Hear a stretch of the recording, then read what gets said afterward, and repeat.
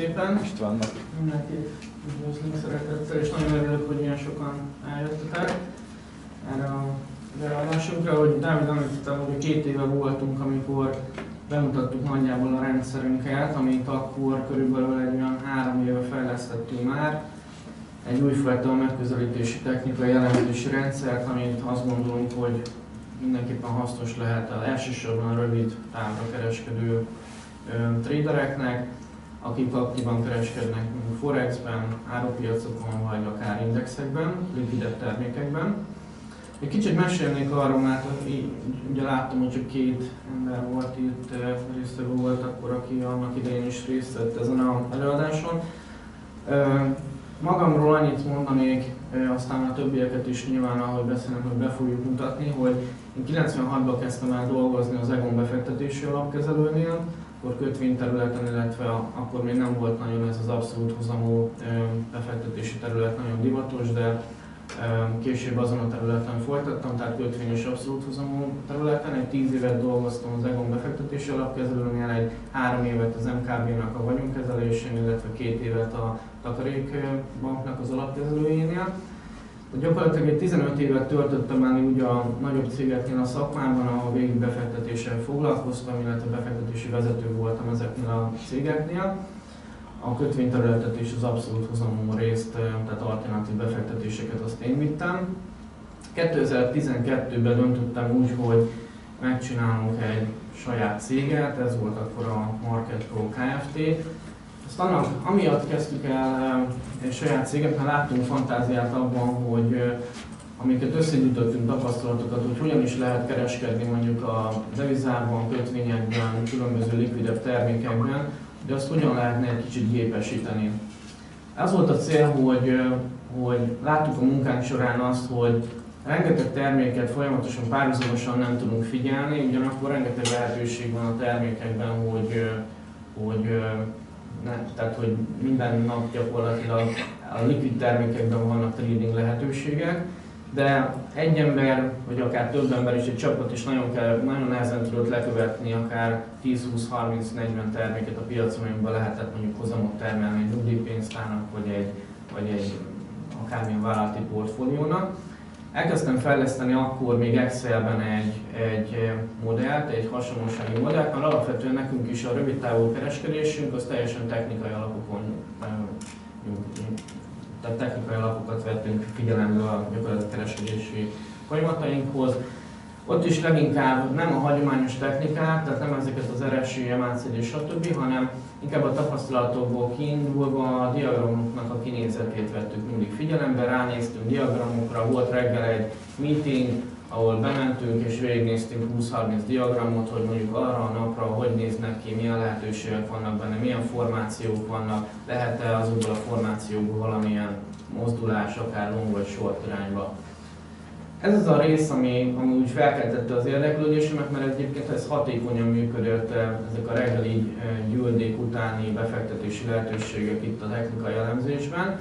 És erre elkezdtem fejleszteni egy, akkor még Excelben, ahogy mondtam, egy, egy modellt, ami azt vizsgálta lényegében a likvidebb termékeknél, hogy egy hosszú idősoron megnézegette azt, hogy a jelen piaci diagramok hogyan néznek, hogyan néznek ki, és hogy a múltban voltak-e hasonló formációk. Itt nem, nem kifejezetten a nem kifejezetten a, az ilyen jól ismert gyertyaformációkat keresgéltük, hanem azt, hogy mondjuk egy diagram szakasz a kinézete egy adott pillanatban, a múltban valamikor hasonlított erre. Erre sikerült egy, egy, egy számítógépes modellt összerakni, ami lényegében azt csinálja, és most is egyébként az, az elemzéseinknek egy, egy jó részét, egy alapját képezi ez a, ez a vizsgálat, hogy megnéztük azt, hogy mondjuk egy el, elmúlt 10 órában, vagy az elmúlt 10, 10 5 percben mi történt egy diagramon, és ezt a fekete-fehér 10 mintás gyertya kombinációt próbáltuk keresni számítógéppel a múltban az adott terméknek a historikus adatbázisán. Számítógép az elég gyorsan dolgozik, tehát akkor még nem real-time-ban dolgoztunk, de most már real-time-ban dolgozunk, tehát ahogy változik a diagramnak a kinézete, a gép folyamatosan keresi hozzá a hasonló formációkat a múltban, és amikor megtalálja a hasonló formációkat, amik egy ilyen, egy ilyen matematikai módszerrel vizsgálja meg lényegében a gép, hogy mennyire hasonlít a gépdiagram egymáshoz, hogyha elüt egy kritériumot, hogy nagyon hasonlít, akkor azoknak a múltbeli hasonlóságoknak megnézi az akkori kimenetelét, és azokat a kimeneteleket gyűjti össze, és rárakja a jelenre. Tehát ez a színes folytatása a fekete-fehérnek már azt jelenti, hogy lényegében mit vár a múltbeli hasonlóságok alapján a jelen formációból kiindulva, hogyan folytatódhat mondjuk jelen esetben egy euró-dollárnak egy órás diagramja. Ezt eh, sikerült most már felhasználó barát formációba öntenünk, és majd a termék, erről is beszélünk, hogy itt gyakorlatilag ezen a honlapon mit látunk, csak most a kereskedési oldalról meg, megvilágítanám, hogy igazából ezeket a, ezeket a 70 terméknél, ezeket a formációkat, ezeket a diagramokat vizsgálhatja a gép, és amikor talál egy olyan lehetőséget, hogy mondjuk nagy valószínűséggel, amiket itt alul számolnak, nagy valószínűséggel mondjuk a adott terméknél mutatja, hogy fel vagy le e, történhet egy mozgás, akkor mi azokat a termékeket megvizsgáljuk, ezt mindig óra végén vizsgáljuk meg, hogy már be legyen fejezve majdnem az adott órás diagram, ez utolsó 5 percben, és azokat, amiket feldob lehetőségeket, azokat megnézzük, hogy valóban igaza van-e úgy a gépnek idézőjelben, hogy, hogy van-e benne fantázia, és hogyha látunk benne fantáziát, hogy erre mondjuk lehet egy, egy trédet kötni, akkor ezt megkötjük long vagy short irányba. Most nem tudom, hogy eddig milyen típusú élőkereskedési bemutatókon vettetek részt. Nálunk az a jellemző, hogy egy napon belül általában 3 és 5 trade történik. Tehát ez úgy jön össze, hogy mondjuk reggel 8-tól elkezdjük vizsgálgatni, tehát a gép az 24 órában fut folyamatosan 5 napon keresztül, de nyilván mi éjszaka mondjuk nem trédelünk, nem kelünk fel azért, hogy trédeljünk, de, de reggel 8-tól ugye este 6-ig, 7-ig nézzük folyamatosan minden óra végén, és minden óra végén gyakorlatilag megnézzük azt, hogy mely termékekben vannak lehetőségek. Meg is mutatom azt az oldalt, ahol mondjuk egy-egy terméket részletesen meg tudunk nézni, hogy hogy hogyan is néz ki. Hát van egy euró-dolláros termékünk, itt, itt lehet egyébként kiválasztani az összes terméket, amiben az, az ember kíváncsi, hogy mondjuk hogyan is áll az adott termék a hasonlósági modell tekintetében. Nézzünk egyrészt olyan dolgokat, hogy a terméknek milyen a volatilitása, tehát megnézzük, hogy tudjuk, hogy mi az átlag volatilitás, hogy 8 és 10 között van, megnézzük azt, hogy nem túl magas a volatilitás, nem túl alacsony, mert a alacsony volatilitásból is egy nagyon gyorsan egy magas volatilitás alakulhat ki, illetve alapvetően a magas volatilitásnál pedig megint nehezebb a pozíció managementet csinálni, tehát csinálunk egy, egy volatilitásvizsgálatot, és akkor utána pedig megnézzük azt, hogy hogy az adott terméknek az órás diagramja, ami elsősorban órás távon trédelünk, hogyan néz ki. Pont a eurodollár, az eurodollárnál most van egy olyan öm, öm, formáció lényegében, amiből azt mondja a gép szerint, hogy ez, ahogy most kinéz az eurodollárnak az órás elmúlt 10 órája, abból szerinte lehet egy letörés. Mert a múltban, amikor így nézett ki egy diagram, akkor abból nagy százalékban mindjárt meg is mondom, hogy hány százalékban a eseteknek a 82, jó számok, 82 százalékában onnan letörést következett be. Gyakorlatilag ez, bocsánat, a volatilitás az, az órásra vonatkozik? Ez az órásra vonatkozik, így van, így van, igen, ez, ez már volt máskor is kérdés, hogy miért ezt raktuk ki, így van, nem egyértelmű, de az órásra vonatkozik, és nyilván elsősorban az, hogy mi órásban kereskedünk, és gyakorlatilag a, az órásra itt is átkapcsoltam, hogy az órásra látszódjon, hogy hogyan is néz ki az adott termék. Na most minden termékre van egy ilyen számoló az egész mögött. Tehát, hogy átkattintanék mondjuk a DAX-ra vagy az Euroforintra, abban is ugyanezeket megtaláljuk, ugyanígy ilyen adatokat mindegyikről. Csináltunk egy koordinátorrendszert, ami viszont segít abban, hogy ne kelljen ezeket a termékeket egyenként végignézni, mert az a legnehezebb, hogy hogy most egyenként végig kattingatni, mert akkor megint nem vagyunk előrébb, és nem látjuk meg gyorsan a lehetőségeket. Ezért csináltunk egy koordinátorrendszert, amiben el tudjuk helyezni az adott terméket, és vizsgáljuk azt, hogy bullish vagy bearish régióban van. Az y a koordinátorrendszerben lényegében azt mutatja meg, hogy ez a órás diagram a nullától százig hol helyezkedik el. Nyilván az 50 az a meccius pont, az 50-nél neutrális a termék, 50 alatt berissé válik, 50 fölött pedig kezd a bullish régióba menni. Azt kell viszont figyelembe venni, hogy vannak azért olyan területek, amik azt mondjuk, hogy semlegesek. Tehát 50-től 70-ig nem foglalkozunk vele, illetve 50-től 30-ig sem foglalkozunk vele, mert azt mondjuk, hogy 30 és 70 között még nagyon neutrális ez a jel, tehát nem elég erős. Hogyha 70 és 80 fölött van, akkor már foglalkozunk vele, illetve itt, hogyha 30 és 20 alatt van, akkor érdekessé válik a termék ebből a szempontból. Na most az X-tengely viszont egy hagyományos technikai indikátorokra épülő lényegében értéket ad. Ha ráállunk a irodollára, akkor mutatja is, hogy, hogy ugye két adatból jön össze, hogy hova helyezi ezt a terméket. Az egyik egy ilyen score nevezetű, amely hagyományos technikai indikátor, a másik pedig a trendnek a száma, amit a 18. Ez azért fontos, mert csak akkor trédelünk egy termékre, hogyha nem elég, hogyha megadja a hasonlósági modell azt, hogy mondjuk nagyon magas, vagy nagyon az alacsony a emelkedés esélye, mint a eurodollár esetében is, hanem fontos az is, hogy hagyományos technikai értelemben is egy eladási pozíciót mutasson, vagy egy vételi pozíciót. Most a eurodollárnál pont ez nem él, tehát a hasonlósági modell mutat egy lefele irányt, ugyanakkor azt látjuk, hogy a termék a mi szempontunkból, mi kereskedési szempontunkból nem alkalmas arra, hogy sortot nyissunk rá. És ez nagyon fontos, hogy a metszete legyen igaz, tehát on, onnan a bearish vagy a bullish régióba kerüljön. Ez alapvetően azért van, mert mi olyan termékekbe szeretünk általában pozíciókat nyitni, amik amúgy hagyományos technikai értelemben is túlvett vagy túladott állapotban, vagy olyan, olyan állapotban vannak, amit a hagyományos technika mondjuk bullish vagy bearishnek mond, és ugyanakkor a hasonlósági modellünk is megerősíti, hogy igen, innen lehet egy ugyanolyan irányú jel. Az, azért, hogy ne kelljen végignézni az összes ö, terméket egyenként, ezért most itt a Forex-re kapcsoltam, az összes Forex-et kiraktuk egy képernyőre, hogy lássuk mindig azt, hogy óra végén, most még nincsen óra végén, de negyed óra múlva már érdekes lesz ez a, az egész diagram, melyek azok a termékek, amik elhelyezkednek a bullish vagy bearish szektorban. Hát ilyenkor már lehet nézegetni, mert közeledünk az óra végéhez, 15 óra 40 perc van, 15 óra 55 környékén szoktuk rá nézegetni, vagy 50 párnál már nézegetjük, hogy mik azok a termékek, amik nem ugrálnak nagyon, de már stabilan benn vannak egy bearish vagy bullish régióban.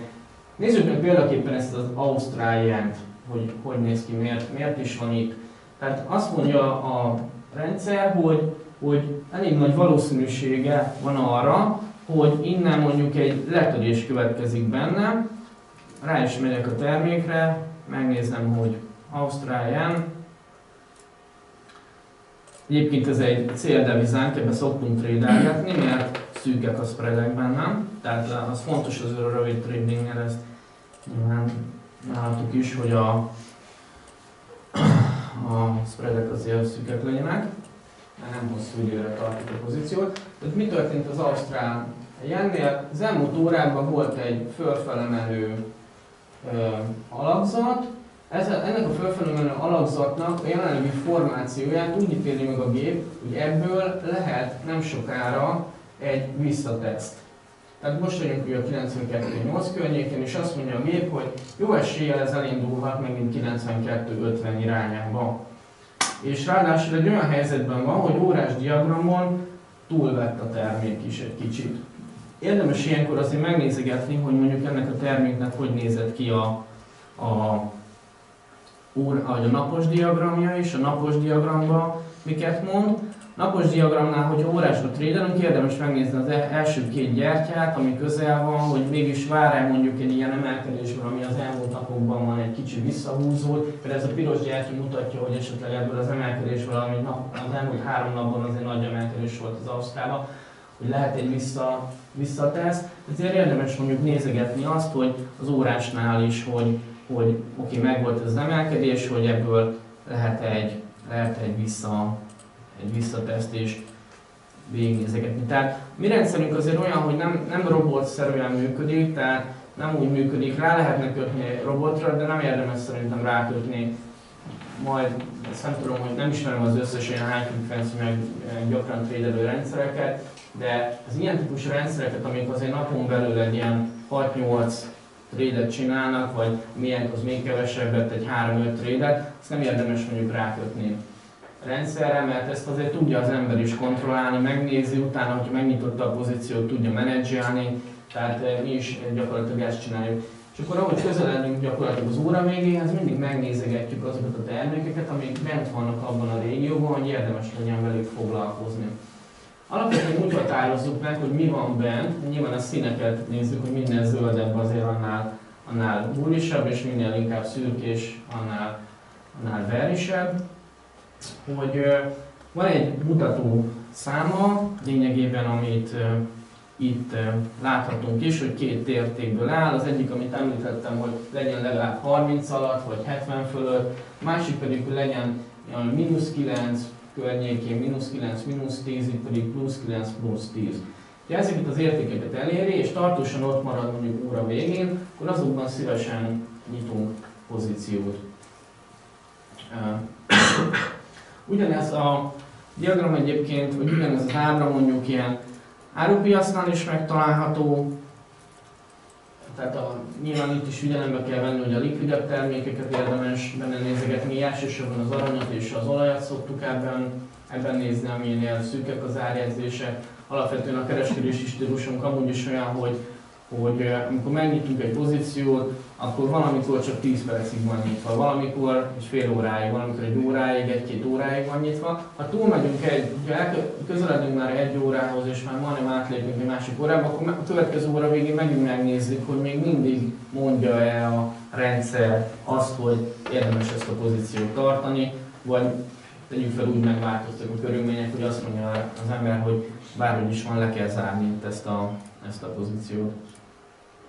Az indexekre és a likvidebb indexekre is van itt, itt nem látunk túlságosan nagy lehetőséget. Még itt az árupiasznál néztem ezt, hogy az aranyat az előbb mutatta egy kicsit úgy bulisabb, azt érdemes akkor olyankor, amikor valamilyen terméket mutat így megnézni, hogy miért is mutatta ezt az aranyat mondjuk így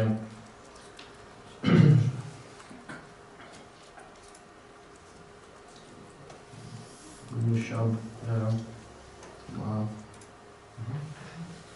Hát az aranynál körülbelül, de ez, ez annyira azért nem múlik, de az aranynál volt ugye most úgy látom egy ilyen, mennyi ez, 6-8 dolláros visszaadás az elmúlt egy-két órában, emiatt, emiatt úgy azt gondolja a gép, hogy innen lehet egy pár dolláros nagy visszatesz, de ez igazából nem olyan szépek ezek a formációk. Tehát érdemes azokkal a formációkkal foglalkozni, amikor egyen, egyenként megnézi az ember, amiben azt látja az ember, hogy onnan már egy fordulás következik. Mert itt, itt ez azért nem egyértelmű, tehát itt még azért várja azt, hogy esetleg 1090-et meg, megnézhet, és onnan, onnan egy vissza ez történik. Hmm. Másik dolog, amire nagyon figyelünk, és Gábor is e, nyilván azért csatlakozok hozzánk, mert van egy nagyon e, érdekes része azért a, az egész oldalnak, az az, hogy, hogy mi a hagyományos technikai analízis szempontjából is folyamatosan készítünk cikkeket, írogatunk napon belül, hogyha bármilyen mozgás van, akkor, akkor, akkor ezekről a Gábor azonnal felrak egy cikket, nem csak devizákról, hanem indexekről is, árupiaci termékekről is. Ezek általában direkt egy ilyen rövid, rövid cikkek, amik most nem teljesen fér bele a képernyőre a dolog, de az a lényeg, hogy, hogy egy rövid leíráson és hozzá pedig egy, egy adott piac, tehát egy mondjuk egy olajhoz tartozó rövid elemzés, aminél valamilyen elképzelésünket leírjuk, hogy, hogy ebből milyen, milyen mozgás lehet, miért érdekes ez a termék, miért érdemes benne figyelni. Tehát itt is nyilván az olajnál itt volt most elmúlt napokban egy komolyabb mozgás, tökre most érdemes így odafigyelni. Tehát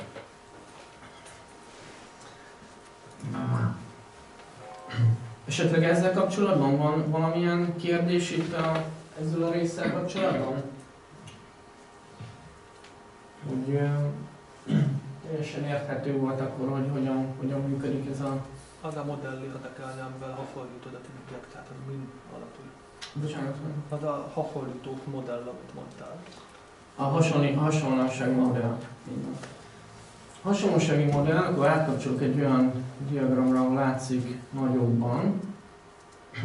Nézzük meg akkor a, az eurodollárt. Tehát eh, ez volt, ez volt az egésznek régebben az alapja, hát elsősorban ezeket nézegettük, és egyenként nézegettük ezeket a, a csártokat. Itt, itt eh, arról szólt ez, hogy eh, ugye azt feltételeztük, hogy a traderek, akik ma több millió ember, aki mozgatja a piacot, mondjuk a devizapiacot, azok nagyon sok ember ugye a diagramokat, csártokat figyeli. Hát gondolom ti is a diagramokat, csártokat figyelitek bizonyos módszerek alapján, de nagyon sokan úgy figyelik a, a csártokat, mint ahogy annak idén mi is figyeltük, hogy szemrevételezéssel. Na most szemrevételezésre, amikor az ember ránéz egy diagramra, nektek is van nyilván néha olyan érzésetek, hogy hú, én ismerem ezt a formációt, ebből emelkedés jön szerintem. Ez azért alakul ki az emberben ez a vélemény, hogyha már van egy kereskedési tapasztalata, mert az agya összerakja azt, hogy én már annyit kereskedtem a piacon, hogy tudom, hogy egy ilyen formációból a múltban amúgy régebben emelkedés jött, vagy csökkenés jött. Na most ebből indultunk ki, tehát lényegében az emberi viselkedésből indultunk ki, és azt az emberi viselkedést próbáltuk a matematika nyelvére, a számok nyelvére lefordítani. Tehát azt csinálja lényegében a gép, és mindjárt elmondom, hogy miért tizet nézünk, mert ez is egy történet, hogy miért pont tizet nézünk, de a tíz formációt vizsgáljuk, és azt csinálja, ahogy említettem a gép, hogy ezt a tíz gyertyát lefényképezi, végigfuttatja ennek a tíz gyertyának a matematikai azonosítóit lényegében a historikus adatbázisán, és a historikus adatbázison megpróbálja azt a tíz egymás követő gyertyát megtalálni, ami legjobban hasonlít, ami második legjobban hasonlít, harmadik, negyedik, ötödik. Van egy kritériuma persze, hogy mi az, hogy hasonlít. Tehát beállítottuk úgy a, a rendszert, hogy azokat a hasonlóságokat találja meg, amire azt mondja az ember, hogy ha ránézne szemmel, akkor is megállapítaná, hogy tényleg ez hasonló. Ez körülbelül, van, van ugye ez a matematikai módszer, nem vagyok matematikus, de vannak ez a legkisebb négyzetek módszer, nem tudom, van-e köztetek, aki ezzel foglalkozott, de ezzel így le lehet képezni azt, hogy mondjuk két csárt mennyire hasonlít egymásra. Ezeket vizsgálja, és azután, ahol tényleg megüti a rendszer azt, hogy itt hasonlóság nagyon hasonlít, azoknak megnézi, hogy tényleg utána hogyan folytatódott ez a diagram. Tehát lehet, hogy a múltban volt egy tök hasonló 10 diagram, gyertya, és akkor egy esetben mondjuk azt csinálta, hogy így folytatódott, egy oldalazás volt, egy esetben úgy, hogy nagyon beesett még innen a piac, volt egy olyan eset, amikor meg mondjuk ezt csinálta a piac. És akkor ezt a hármat összegyűjti mondjuk, vagy ötöt éppen, hogyha nagyon több ilyen lehetősége van, és akkor azoknak megnézi, hogy a utolsó ponttól, ahol most vagyunk, mennyire voltak a következő gyertyái. Ezek alapján ki tudja azt számítani, hogy alapvetően az összes hasonlóságnál a következő gyertyák azok lejjebb voltak-e már a záró, mondjuk a záró értékekben, mint ahol most vagyunk. És ez alapján számít ki egy hasonlósági valószínűséget, hogy azt mondja, hogy ha mondjuk talál öt hasonlóságot, és mind az öt hasonlóság esetén a rákövetkező gyertyák, mondjuk itt található 10 vagy 20 gyertya, mindegyik alacsonyabb záróértéken volt már utána, mint ahol az utolsó vizsgálati pontunknak a zárója, akkor azt mondja, hogy mind az öt esetben mondjuk 20 gyertya lejjebb volt, akkor az 100%-ra veszi. Mert azt mondja, hogy akkor mindegyiknél lejjebb volt. Most ennél a 18, ami kijött, ennél valószínűleg az volt a helyzet, hogy mondjuk tegyünk fel talált 5 darab hasonló helyzetet, és abból a 5x20 gyertya, ami következett mondjuk 20-at vizsgál meg utána, 5x20-ból azt mondta, hogy 82 gyertyának a zárója, abból az 5-ból, az lejjebb volt, mint az az utolsó vizsgálati érték, ahol voltunk.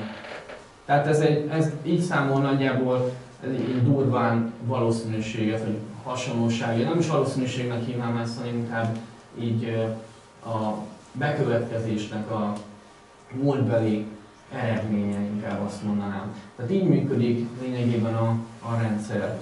És akkor ezeket a hasonlóságokat mi az órás szeretjük a legjobban, mert az 5 percest mi nem tudjuk olyan gyorsan letrédelni, ahogy történik. Az 5 percesnek is be van töltve rendesen a historikus adatbázis, aki nagyon szeret 5 percesre trédelni, az tud, de ott azért nagyon figyelembe kell venni, hogy egy 5 percesnél nagyon gyorsan történnek a dolgok, tehát ott tényleg csak olyan helyen érdemes trédelni, ahol nagyon szűkek a spreadek, mert amúgy elviszi a spread a nyerőfel. Itt is egyébként az órásnál mi átlagosan, amit szoktunk behúzni nyerőket, azok, azok kicsik, tehát ilyen 5 bázisponton mondjuk 25-30 bázispontig terjed. Tehát ez, ezben a tartományban szoktunk mozogni. Egy 5 percesnél valószínűleg még rövidebbre kellene. Napos diagramot is egyébként lehet nézni, tehát a napos diagramnál, hogyha valaki esetleg hosszabb távon gondolkozik, itt most nem mutat különösebben nagy lehetőséget a piac, de, de azt mondja az ember, mondjuk, hogy innen, innen azt mondja, legalább annyit ki lehet olvasni mondjuk egy naposból, hogy ebben a, ez alapján, a formáció alapján, amit itt mutogat a rendszer, ebből mondjuk a múltban nem történt óriási emelkedés. Tehát inkább ez az oldalazó semmi mozgás volt, ami inkább lefele mutatott. Tehát gyakorlatilag, de kereshetünk mondjuk olyan, olyan naposat, de Forexben, Forexben most abszolút nincsen szinte semmilyen, semmilyen jel, azt mondom, órásban, vagy a naposban.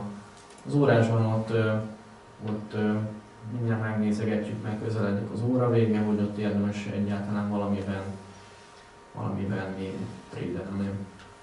Tehát így, így működik egyébként a rendszer, és akkor ezeket a hasonlóságoknak az értékeit, ahogy említettem, azt rakja rá az Y-tengerre, az 50-es meccés pont itt található. Aki 50 fölött van, azt oda rakja, aki 50 alatt van, ide rakja. Mindig a növekedés esélyét nézzük, tehát növekedésnél nyilván akkor, hogy 70 fölött érdekes, illetve a növekedés 30 alatt érdekes a short pozícióra. A viszintes tengerről, akkor még az X-tengerről még akkor mesélnék egy kicsit.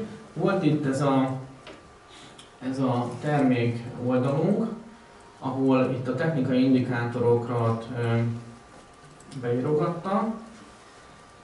Alapvetően az X-tengelynek a kialakítása, illetve a meghatározása, hogy hova is helyezze a terméket, az a, az, az X-tengely, az a, ezekből az indikátorokból számított értékekből jön. Azt csinálja, hogy figyelembe vesz egy 6-8 technikai indikátort, megnézi, hogy azok milyen állapotban vannak, és gyakorlatilag amikor megvizsgálta azt, hogy milyen állapotban van, tehát mondjuk egy eresények túl, túladott, Bollingernél, hol helyezkedik el a sávban, egy Williams-szernél is, Nyemácédnél, hogy vannak a meccés pontok, stb. Azokra ad egy pontot és akkor ezt a pontot be tudjuk lőni, tehát gyakorlatilag lepontozza a bullish és bearish tekintetben az összes technikai indikátort, ezeket a pontokat összegzi, és akkor meg tudja azt mondani, hogy mondjuk egy euró dollárnak egy adott óránál milyen, milyen pontja van, és akkor ez lesz, a pont, az lesz az x tengelynek a koordinátája. Az y tengelyt azt elmutattam, hogy mi a koordinátája. Így helyezi el. És akkor ez arra ad nekünk most így lehetőséget, gyorsan megnézem, mert minden óra végén van, van-e valami, ami érdekes lehet. Órás. Jó órás, igen.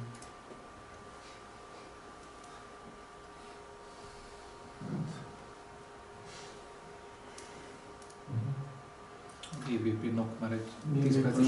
Azonban a GBP nokban nem szoktunk trédelni, mert annál nagyon szélesek a, a spreadek, tehát ez az Euroasztrát néztem még az előbb is, hogy amúgy egy, nincs egy rossz állapotban, csak a, egy kicsit a felfelelő menő valószínűsége egy kicsit jobb lenne, ha magasabb lenne, mert csak 67-et mutat, és 70-et azért úgy be szoktuk tartani, hogy 70-nél 70-nél szoktunk ö, ö, megnézzük, hogy milyen.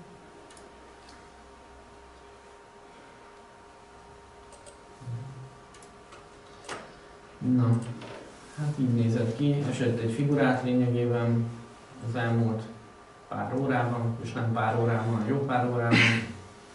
És most azt mondja a gép, hogy ebből lehet innen egy korrekció, csak annyi a problémája, hogy nem elég erősen ugye mutatja ezt a, ezt a jelet fölfele. Tehát jobb lenne, hogy 70 fölött lenne ez a, ez a termék. Most visszakapcsolok még, hogy még esetleg valamelyik belemente a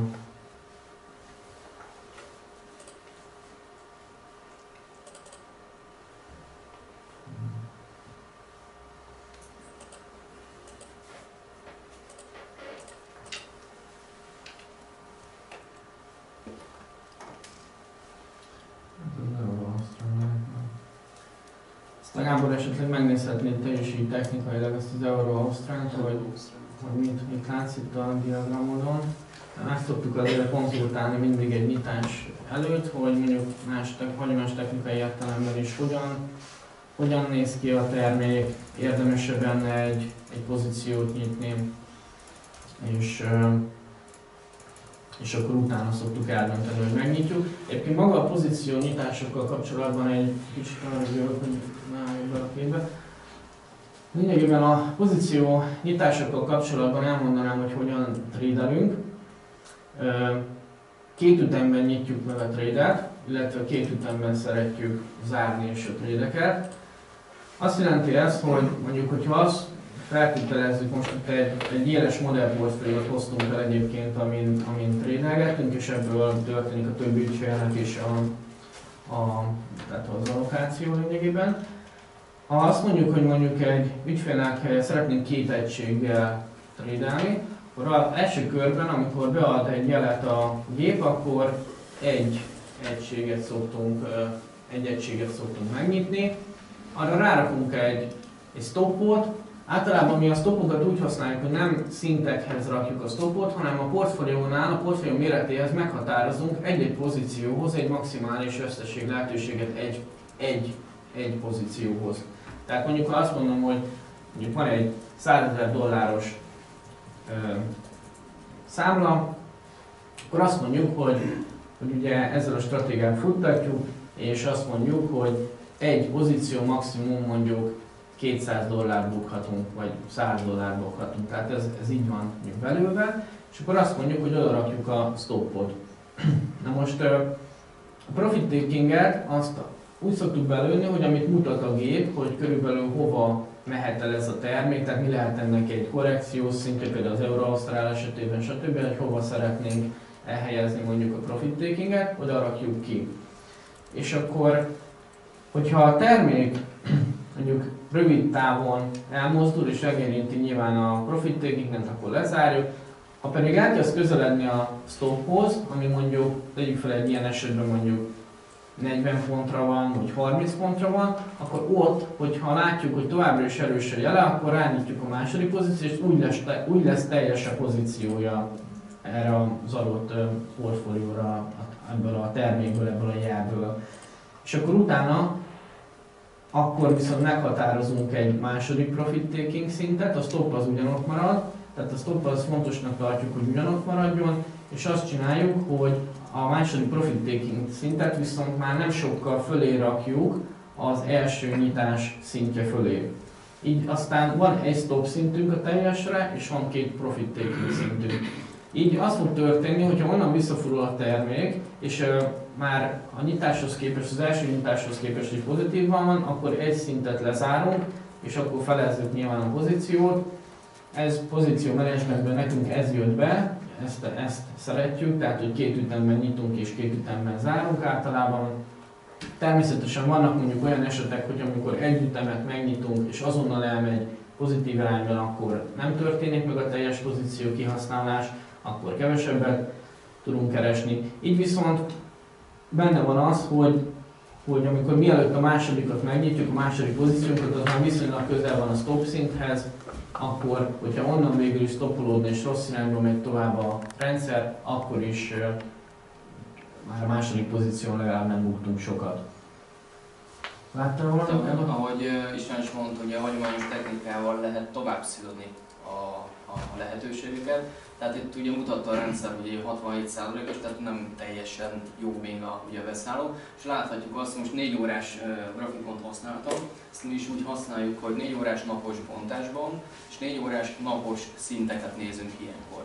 Tehát, hogyha valamelyik jelet ilyen erős szintnél kapjuk meg, akkor ott nagy valószínűsége, sokkal nagyobb a valószínűség, hogy meg fog állni, hiszen az árfolyam már többször tesztelt ezeket a szinteket. Ráadásul főleg, hogyha ilyen figura környékén van, figurákon az esetek nagyobb részével általában túltolják, vagy túlhúzzák ugye az árfolyamot, és utána fordul meg itt is egy picivel alatta van.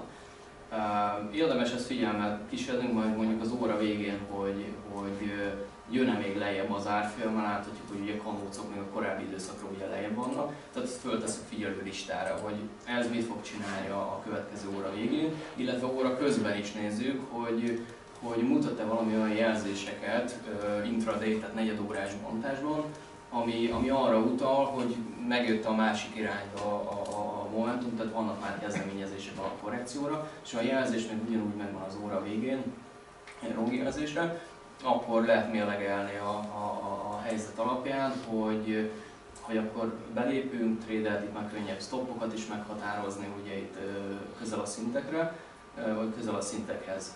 A másik, ami még, ami még fontos szokott lenni, ugye, hogy most itt igazából itt rendel szemben nyitnánk a pozíciót, az esetek kicsivel nagyobb része az így történik, tehát ugye nagyon rövid pozícióra túladott vagy túlvett szintről, viszont előfordulnak ilyenek abban az esetben is, amikor mondjuk egy korrekciós trend esik nagyon meredeken.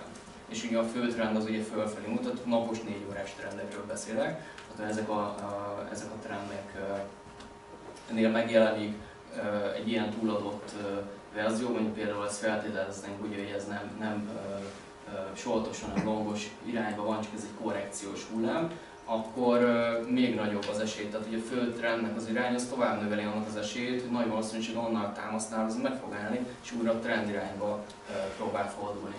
Várhatunk gyertya kombinációkat, várhatunk gyertya alakzatokat, itt általában ugye a, a hasonlósági modellnek a jelzésére támaszkodunk, és azt vetítjük rá, a te, azzal hasonlítjuk össze ugye plusz a technikait, és ezzel nagyon jól lehet szűrni azt, hogy, hogy hiába adja a, a, a, a mondjuk 70%-osra a, a vételt, akár egy kicsit följebb is például, tehát itt megint csak egy mondjuk fiktívet mondjuk, mondjuk ezen a szinten, ahol mondjuk igazából nem sok minden van, hogyha ez nem nagyon egyezik, és, és igazából nem felel meg ezeknek a kritériumoknak, akkor, akkor ez a trade nem nyílik meg. Mert, mert egyszerűen nem, nem hozza sem a hasonlóság, sem azt a százalékot, sem pedig a technika azt mondja, hogy egy kicsit a levegőben lóg ez, a, ez az egész, és, és nincs itt igazából olyan komolyabb szint, ami, ami, ami megfoghatná.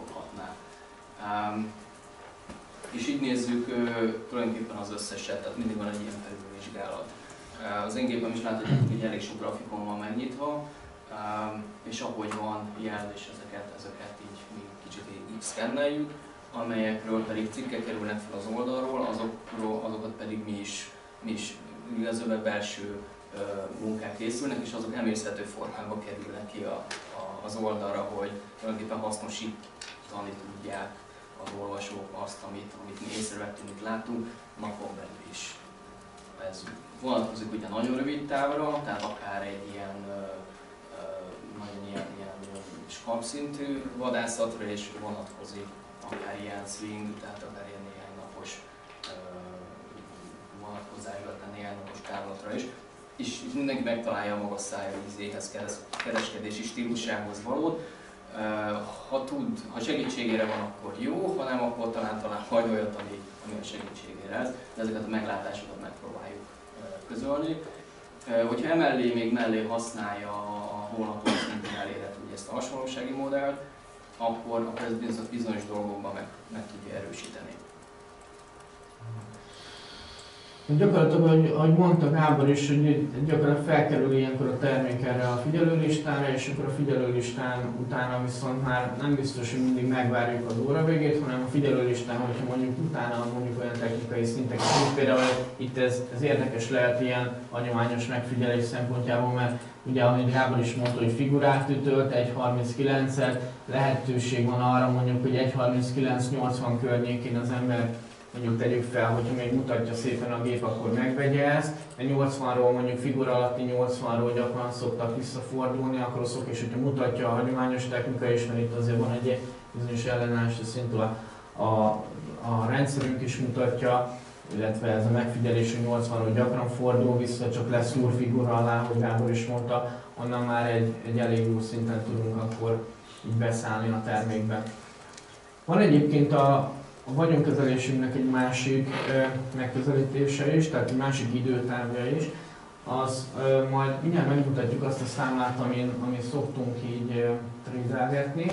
Lényegében itt ö, arra van szó, hogy, hogy ilyen nem, nem, csak, tehát nem csak ilyen napon belüli rövid trédeket szoktunk írni, hanem hogyha mondjuk van olyan ötletünk, hogy mondjuk jelen esetben egy olyan pozíciónk van, hogy mondjuk a, az S&P és a DAX-nak a, a spreadjére kötünk ezt. Tudjuk, hogy nem napon belül valósul meg, de mondjuk azt gondoljuk, hogy most egy, megnéztünk egy historikus mondjuk csártot, hogy mennyi volt a historikus múltbeli különbsége, spreadje a S&P-nek és a DAX-nak, és azt látjuk, hogy mondjuk történelmi maximumon van.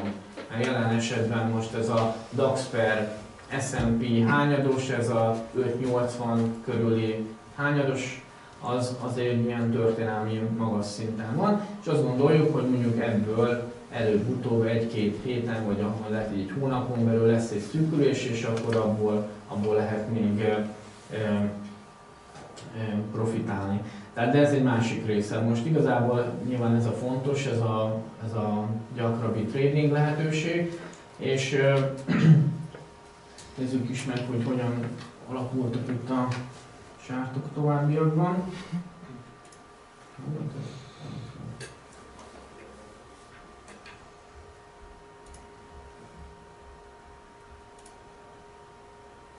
Ha van esetleg kérdés, akkor nyugodtan szóljatok, vagy kérdezzetek tőlünk, mert itt én belemerülünk itt a a hírbejelentés mennyire van belekalkulálva? Nem szoktunk híreknél trédelni. Tehát alapvetően ezt a fél hármas történetet ezt kihagyjuk, hogyha lehet. Tehát ma is ide csütörtökön volt közepesen fontos hírek, de vannak olyan napok, amikor egyáltalán nem trédelünk, ilyen, amikor a drági beszél, az LCB is. Mert az igazság lehet akkor is trédelni, és hogyha szerencsé van, az ember még pénzt is tud rajta keresni, csak iszonyan megnő olyankor a volatilitás. És a megnő a volatilitás, hiába volt mondjuk egy jó elképzelése az embernek, nagyon hamar kisztoppolják. Tehát olyankor meg lehet nézni, ezek az értékek, amiket itt látunk, ezek a volatilitás értékek, amik általában 8-10 között szoktak mozgolódni, vagy mondjuk 11-ig felmegy, ezek elmennek valamikor kiütik a rendszert, és nem elmegy 20 fölé jóval. Gyakorlatilag egy nagy rángatások vannak ugye a piacon, ott pozíciót menedzselni nem nagyon lehet. Vagyis hát lehet, csak akkor teljesen más moz, eszközökkel, tehát más szemlélettel kell nekiállni. Valaki nagy volatilitású piacokat szereti, sokkal kisebb pozíciókkal szereti ezt csinálni, sokkal tágabb stoppokkal. Nekünk ez a komfortos, és a modellünknek is ez a komfortos zóna, amikor a volatilitás 15 alatt van, és mondjuk nem 4 alatt van, mert 4 alattnál pedig megint az a veszélyes, hogyha a volatilitás is teljesen úgy működik, mint bármilyen diagram a világon, hogyha ráraknánk egy hasonlósági diagramot, ugyanúgy meg lehetne prognosztizálni azt mondjuk, hogy a volatilitás esetleg mikor fog nőni és csökkenni, ugye a volatilitás nagyon ilyen ciklikus, tehát valamikor viszonyú magasan van, valamikor nagyon alacsonyan, és a nagyon alacsonyból egy bizonyos idő után egy, egy növekedés jön, egy, maga, növekedés, egy volatilitás növekedés jön, ami meg a mi szempontunkból megint nem jó. Tehát mi alapvetően azokat a piacokat szeretjük, amikor azért van mozgás is, de nem az van, hogy, hogy egy hírre tépik össze-vissza a piacot, a normál napokon, amikor nem ilyen drági beszéd van, mert azt mondom, azt teljesen ki szoktuk hagyni azt a napot, mert ott, ott nagyon-nagyon magas a volatilitás, amikor van egy ilyen félhármas adat, akkor, akkor, akkor nem trédelünk abban az órában, vagy előtte nem trédelünk, hogyha tudjuk, hogy nagyon fontos adatok jönnek, akkor nem szoktunk trédelni. Ezért mondtam, hogy nekünk olyan kereskedési technikánk inkább, hogy így napon belül ez a 3-5 trade szokott általában bekövetkezni. Tehát annál többet nem vállalunk be, mert lehetne lőni sok mindenre még, de, de igazából most ez, amit, amit úgy látunk, hogy biztonságosan mondjuk pozíciómenedzselésben fontos, és nekünk ugye mivel, hogy vagyonkezelést is csinálunk, ahol nekünk a kitűzött hozam célunk mondjuk egy portfólió nem 20-30% egy évben, hanem nyilván tehát egy ilyen kultúrát ilyen 10%, maximum 10% az, ami belefér mondjuk ebbe a rendszerbe egy normális, egy ilyen max. egy kétszeres tőke áttételnél. Emiatt nekünk mondjuk nem cél, nem, nem cél az, hogy mondjuk egy nagyon volatilis napot is célba vegyünk, mert, mert azzal nagyon sokat el tudunk bukni azokból a napokból, amiket mondjuk előtte kerestünk. Tehát az egész vagyonkezelési rendszer is, rendszerünk is, meg metodusok, ahogy csináljuk, az úgy épül fel, hogy, hogy, hogy a, inkább egy konzervatívabb trading jellegre, tehát mondjuk minden, por, minden ügyfelőnek, portfóliónak van egy állampapírbázis, és akkor az állampapírbázis mellett van egy kis, egy kis rész, amit tradingre használunk fel, és a tradingből származó dia, ö, eredménynek kell kiegészíteni a kockázatmentes hozamot, és így szeretnénk elérni ezt a 8-10%-os hozamot egy évben. Tehát nyilván ez kisebb portfólióknál nem működik, ott, ott csak ö, trading van, de ott is a kockázat, tehát a tőkeáttételt azért nagyon próbáljuk leszorítani, ott ilyen 5-10 ezeres trading size-okkal dolgozunk, tehát 5000 euró dollár, vagy 10 ezer euró dollár, tehát hogy ne legyen az, hogy, hogy, hogy, hogy tőkáttételbe kerülhet hosszú távon az ügyfél, hogy nehogy elvegye a, a hozamát. Látszik egyébként visszajöttem itt a euró-dollárra, itt látszik, hogy azért valamennyire abba az irányba mozdult el, mint amit jelzett, tehát hogy volt ez a 18, ez a, ez a 82 os lefele valószínűség, kicsit el is indult lefelé. Én ennek ellenére nem szoktuk így, hogyha nincsen a hagyományos technikai értelemben megtámogatva ez a jel, mert ez egy erős jel volt, ez a 18%-os jel azért erős volt, de a hagyományos technikai értelemben nincsen megtámogatva, akkor nem szoktuk ö, megtrénálni, tehát most is valamennyit lehetett volna, mert amikor elkezdtük szerintem, akkor valahol itt lehetett, ilyen nem tudom, 40 körül volt, 40 körül lehetett, 50, nem tudom hol volt. Tehát egy kicsit kezd lejjebb húzódozni. 45. Hát most így egyre jobban azt várja, hogy esetleg ebből lehet egy további letörés. Tehát maga ez a formáció, talán ez volt az 1, 2, 3, 4, 5, 6, 7, 8, 9, és mit volt még egy 1, ez a az mutatta, hogy ebből a múltbeli adatok alapján lehet egy letörés, ez is lejjebb húzódni, hát itt mondjuk olyan erősödten, tehát ilyen 0,6 75-öt mutat, addig lejöhet. Tehát úgy így, így működik a rendszer. Amit szoktunk még figyelgetni, és ezt főleg napelején figyeljük meg, hogy van egy olyan pontja itt az elemzésünknek, ami egy saját fejlesztősi ilyen Forex Index. Ezeket általában napelején szoktuk megnézni, hogy, hogy mit mutatnak. Ez úgy néz ki, ez úgy működik ez, a, ez az index, hogy nullától százig itt is a, a valószínűségeket, az órás valószínűségeket e, e, láthatjuk, és e, ugye a rendszerünkben elég sok devizapár be van töltve, és azt nézzük meg, hogy egy dollár a többi devizával szemben a dollár szempontjából milyen valószínűségi erősödést feltételez.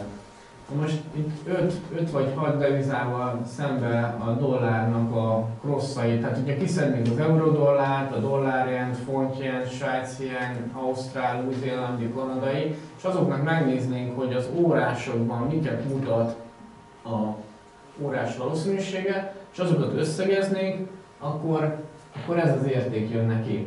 És akkor ez arra jó nekünk ez az index, amit így nap elején megnézünk, hogy, hogy mondjuk, hogyha az eurónak azt látjuk, hogy nap elején fönt van ilyen 70 körül, vagy ilyesmi, akkor tudni fogjuk, hogy lehet, hogy az elkövetkező idő órákban az euró inkább erősebb lesz, mint a többi deviza. Vagy, látni, vagy lát, látunk mondjuk olyat, hogy, hogy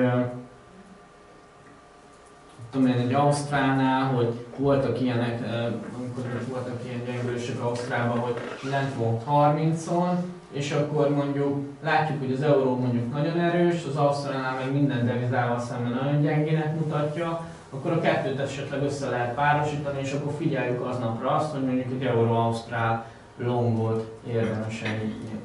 Tehát ilyen, ilyen dolgokat is figyelünk, illetve rá szoktunk még menni itt a a market analízisre, ahol, ahol a különböző devizákat, nem csak devizákat, hanem indexeket és, és ö, árupiaci termékeket is tudunk különböző technikai indikátorok alapján rangsorolni, hogy melyik van a legmagasabb veresiben, melyiknek van ugye a legkisebb resie. Tehát ilyeneket, ilyeneket szoktunk még napon belül így, így vizsgálgatni, illetve órán, órásban is így van.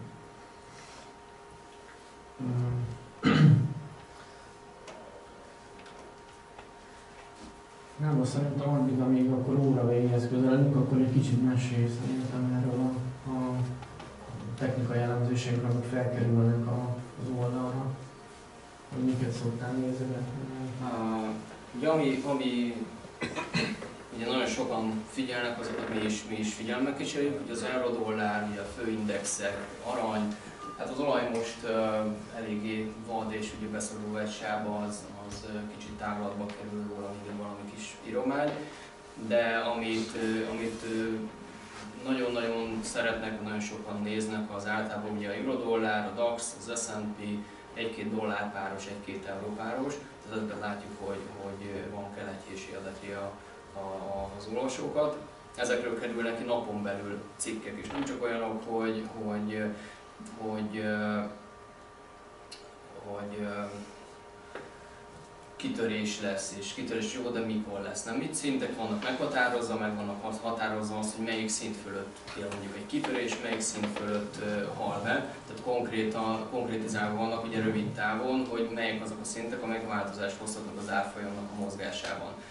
Uh, ugye most az elmúlt napok annyira nem voltak izgalmasak, hogy volt néhány oldalazás, ilyenkor is nyilván figyelemmel kísérjük a, a piacot, születnek elemzések, és ilyenkor több napon, belül, napon belüli elemzés kerül be. Általában amit elkészítünk az negyedórás, négy órás és napos, napos grafikonok. Ezeket szoktam kombinálni a jobb átláthatóság érdekében, tehát hogyha valamit látni naposon vagy négy óráson, azt leviszem kisbontás, és ott meg tudom mutatni, hogy mi zajlik benne, és mire érdemes figyelni, mi lehet az a, az a mozzanat abban az instrumentumban, ami, ami egy jelzést ad az elmozdulás. Ugye általában egy sávban, egy zónában lévő uh, instrumentumnak főleg lényeges, illetve hogyha valamit nagyon ütöttek, vagy nagyon széttéptek, akkor, akkor milyen szintet érhet el, vagy milyen szintet ért el, ott van-e valami akadálya, várható-e valami fordulat, várható valami korrekció. Tehát egyrészt ugye a trendirányt is meghatározzuk, másrészt pedig ugye a korrekciónak a lehetőségét, a mértékét is meghatározzuk ezekben a, ezekben a szintekben. Ugye naponta uh, ugye születnek uh, uh, ezek a cikkek, általában ilyen 6-8 cikk fér bele, tehát az, ami még ugye emberileg teljesít, teljesíthető, amennyi instrumentumot figyelünk, az, az kismeríti azt a, azt a kapacitást, ami, ami van. Ezt mi is használjuk belsőleg, mint mondtam korábban, ez ilyen emészhetően kerül ki. Ugye a legutóbbi, ez a, ez a DAX volt, ezt, ezt ma csak ez az egy született, ugye mert jöttünk ide hozzátok, és ebből látszik az, hogy a szövegnek a nagy része nem nincs benne, hogy van egy kis kommentár, és van mellé egy kép csatolva, hogy mik azok az elvárások, illetve hogyha a kitörés megtörténik, akkor melyek azok a szintek, amelyek elérésre kerülhetnek. Tehát itt egy új csúcs, illetve kitörési kísérlet lehet a közeljövőben egy szűkülésből adódóan. Ugye most nem született ugye egy kisebb bontású grafikon, de a tegnapiban viszont igen, tehát itt ugyanaz a háromszög volt mert ez egy negyed órás bontás. Ennek a, ennek a utóját azt hiszem tudjuk is, majd megnézzük a grafikonon, pontosan hogy nézett ki, tudom, hogy út ilyen 2016-ig, ott az a célzóna, amit a pirossal bejelöltem, ez látszik, hogy ilyen negyed óráson is megvan az a, a, a zóna. Itt úgy néz ki, hogy kezdi el törni, tehát amikor ezt észrevettem, akkor már elkezdem a, a cikket, hogy mi, mielőbb ugye kikerüljön a, az oldalra, és aki megkapja, az esetleg még időbe tud vele talán valamit kezdeni. De nyilván ezek nagyon gyorsak, tehát aki ezt nem figyeli, nincs képben, az, az, hogy a sajátjába beillesz, az nem biztos, hogy az első ránézésen vagy egy pár percen belül ez megtörténik, tehát ezek nagyon gyors reakciót igényelnek. De itt legalább látható az, hogy itt készülőben van egy, egy, egy, egy korrekció, és hogyha ezt vissza nézzük ugye az élő grafikonon, egy kicsit tovább, megkeressük ezt az időszakot, akkor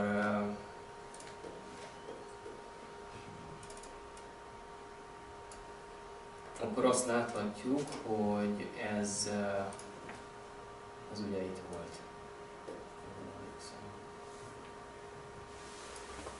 Tehát ez az a rész volt, ez itt volt ez a háromszög, és árből látszott az, hogy ez, hogy ez szépen elindul.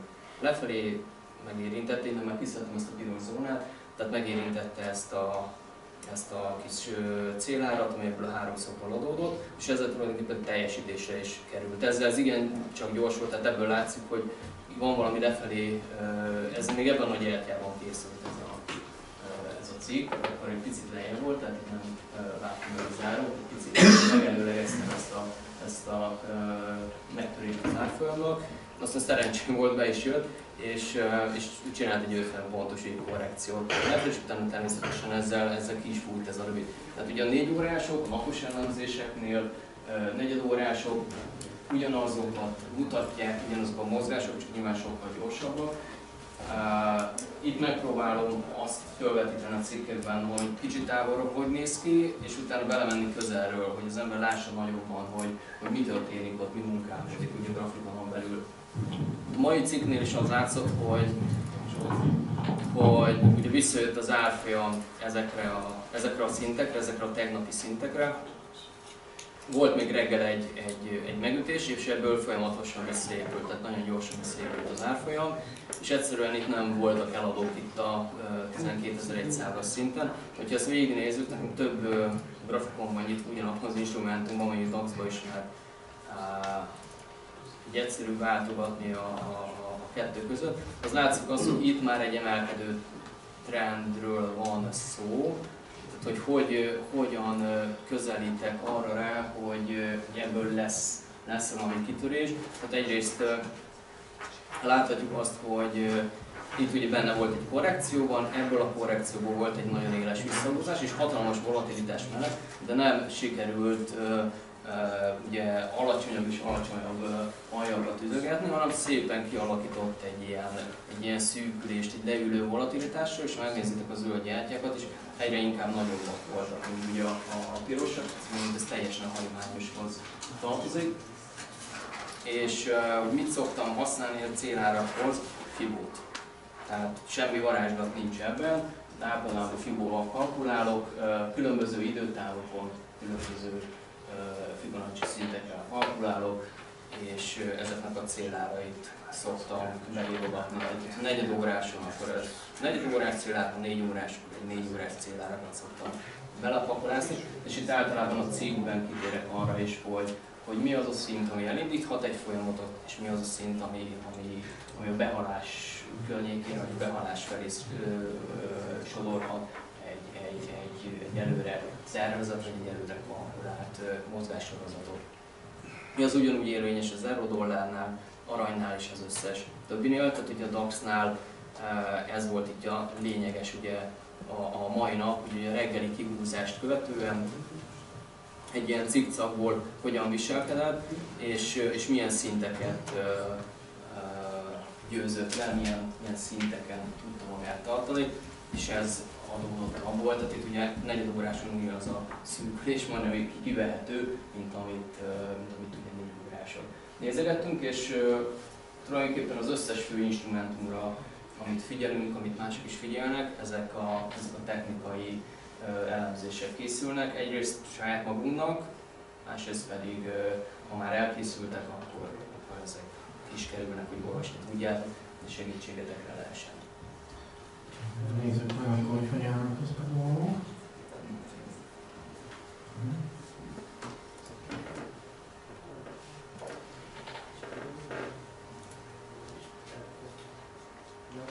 Ugyanezeket a szinteket veszik figyelembe ugye a hasonlóságinál is. Tehát ott is megnézzük ugye, hogy, hogy milyen trend irányba van, melyik időtávon, mire mutatja a jelet. Tehát ezeket mind-mind megszűrjük, megszűrjük és ugye minél több együttállás van, annál nagyobb a valószínűség, hogy abba az irányba következik az elmozdulás, amire számít.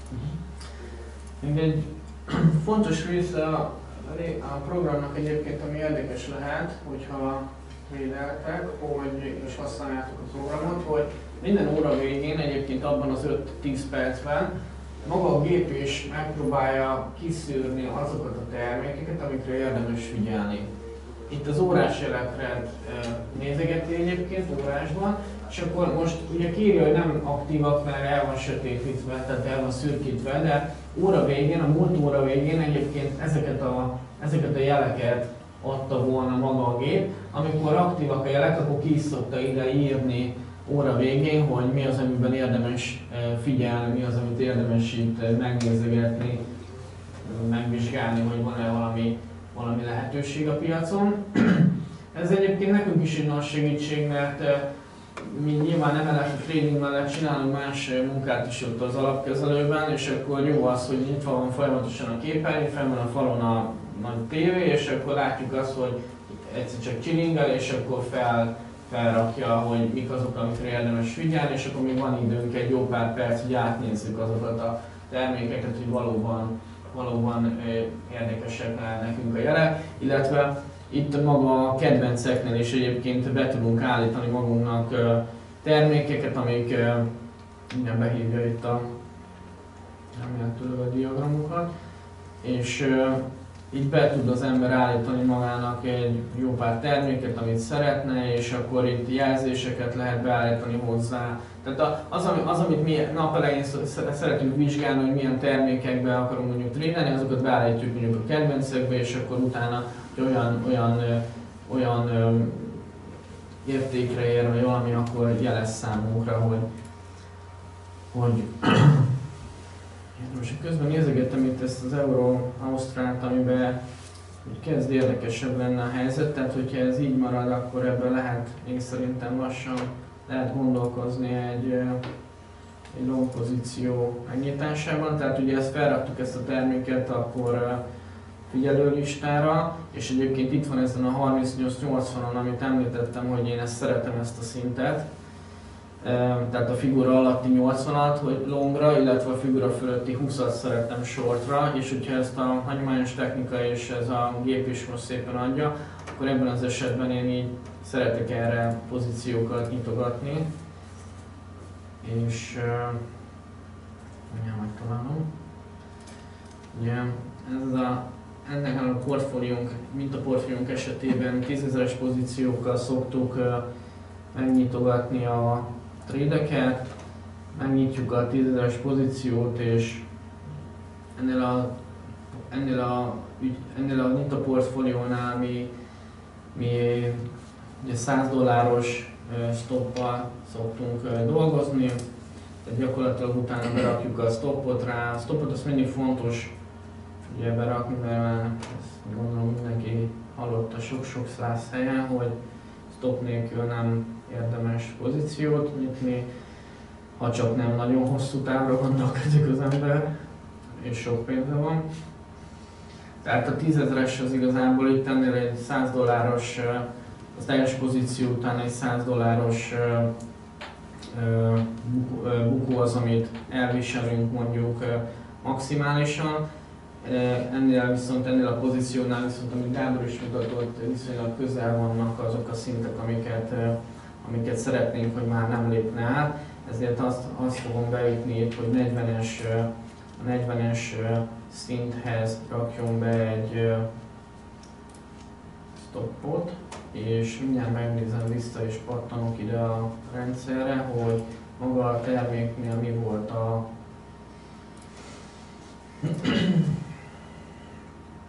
elvárt emelkedésnek a értéke. Azt mondja, hogy 39-25 környékét. Aha. Hát azt mondom neki, hogy viszont a profit taking emet azt pedig be fogom rakni ilyen 39 ra és azt mondom, hogy akkor ezt a pozíciót itt most figyelni fogjuk. Tehát igazából, ha ez a pozíció úgy megközelíteni a, a 40 körüli szintet, akkor ráfogunk még egyet, tehát ilyen 50 környékén, ha a gép még úgy mutatja, hogy mindig még szimpatikus neki, akkor 50 környékén rá fogunk nyitni erre egyet. Hogyha pedig eh, már nem, akkor nem fogok rányitni, a stop nyilván benn marad, és óra végén pedig megnézzük azt, hogy továbbra is, eh, ahogy említettem, szimpatikus neki ez a termék. Gyakorlatilag így történik egy pozíciónyitás. A, amit a kereskedési oldalon még lehetett itt látni, hogy ezen a részen, amit említettem, most van egy S&P és DAX, spread szűkülő játékunk, ez forintban vannak ezek a ter- termények, tehát ez egyelőre nem, nem vált be, de ennél azt gondoljuk, hogy azon a szinten vagyunk, tehát ez a, mondjuk ez az egy olyan pozíciónk, amire azt gondoljuk, hogy itt komolyabb szűkülésnek kellene bekövetkeznie. Egy részét egyszer már zártuk ennek a pozíciónak, akkor behúztunk egy nyerőt rajta, most uh, újra nyitottunk a, a pozíciót, és most azóta, azóta inkább tágult ismét a spread, úgyhogy ez az, amit, uh, az, amit még egy másik pozícióban itt uh, futunk. Nem tudom, hogy esetleg van-e kérdésetek ezzel kapcsolatban, vagy tartsunk egy szünetet most, és akkor óra végére vissza tudunk térni. Parancsolj! Erre szoktatok nézni? Tessék? Erre. Tehát Risk reward. Ja, risk reward, a risk reward, igen. A risk rewardnak ez a, ez a lényegében a, a lényege, hogy azt nézzük meg, hogy mondjuk a stopokat és a limitet az hogyan helyezzük el, ami nagyon fontos, hogy a, amikor beteszteltük ezt az egész hasonlósági rendszerünket, mert volt egy elég hosszú backtesztje, a risk rewardot nyilván úgy tudod meghatározni, hogy maga a modell, amivel dolgozol, az, az mondjuk milyen bekövetkezéseket, tehát milyen, be, milyen a, nyitott pozíciók után, amit lemondeleztél, hogy mennyi volt a ténylegesen bekövetkezett nyerő pozíció. Tehát ennél a modellnél az a jellemző, hogy a megnyitott órás pozícióknak a 70%-a körül ilyen 67-68%-a szokott nyerességgel bezárulni. Tehát ez már alapvetően egy fontos dolog volt, a, ugye, amikor a risk rewardot nézzük, hogy tudjuk mihez tartani. Na, vannak olyan modellek például, ahol, ahol olyan stop és limittel dolgoznak, hogy mondjuk csak a 40% a nyerő a pozícióknak, viszont nyilván úgy alakítja a, a stopot és a limitet, hogy még ezzel a 40%-kal is pozitívba tudja kihozni az eredményt. Nálunk ugye magasabb ez a bekövetkezés. A bekövetkezést egyébként úgy vizsgáltuk meg, hogy, hogy azt mondtuk, hogy, hogy a, mindig órá, órá végén, amikor, amikor bead egy jelet, akkor, akkor nyisson rá egy pozíciót, és és uh, akkor még a te- hagyományos technikát azt nem raktuk bele, tehát akkor több pozíciót nyitott, és akkor azt mondtuk, hogy, mondjuk uh, 40 pontos stoppal, vagy 30 pontos stoppal dolgozzon, és ugyanannyi legyen a profit taking egyébként. Mert azt szerettük volna látni, hogy ugyanolyan uh, nyeresség és veszteség esetén maga a modell mit tud kitermelni, és mennyit tud hozni.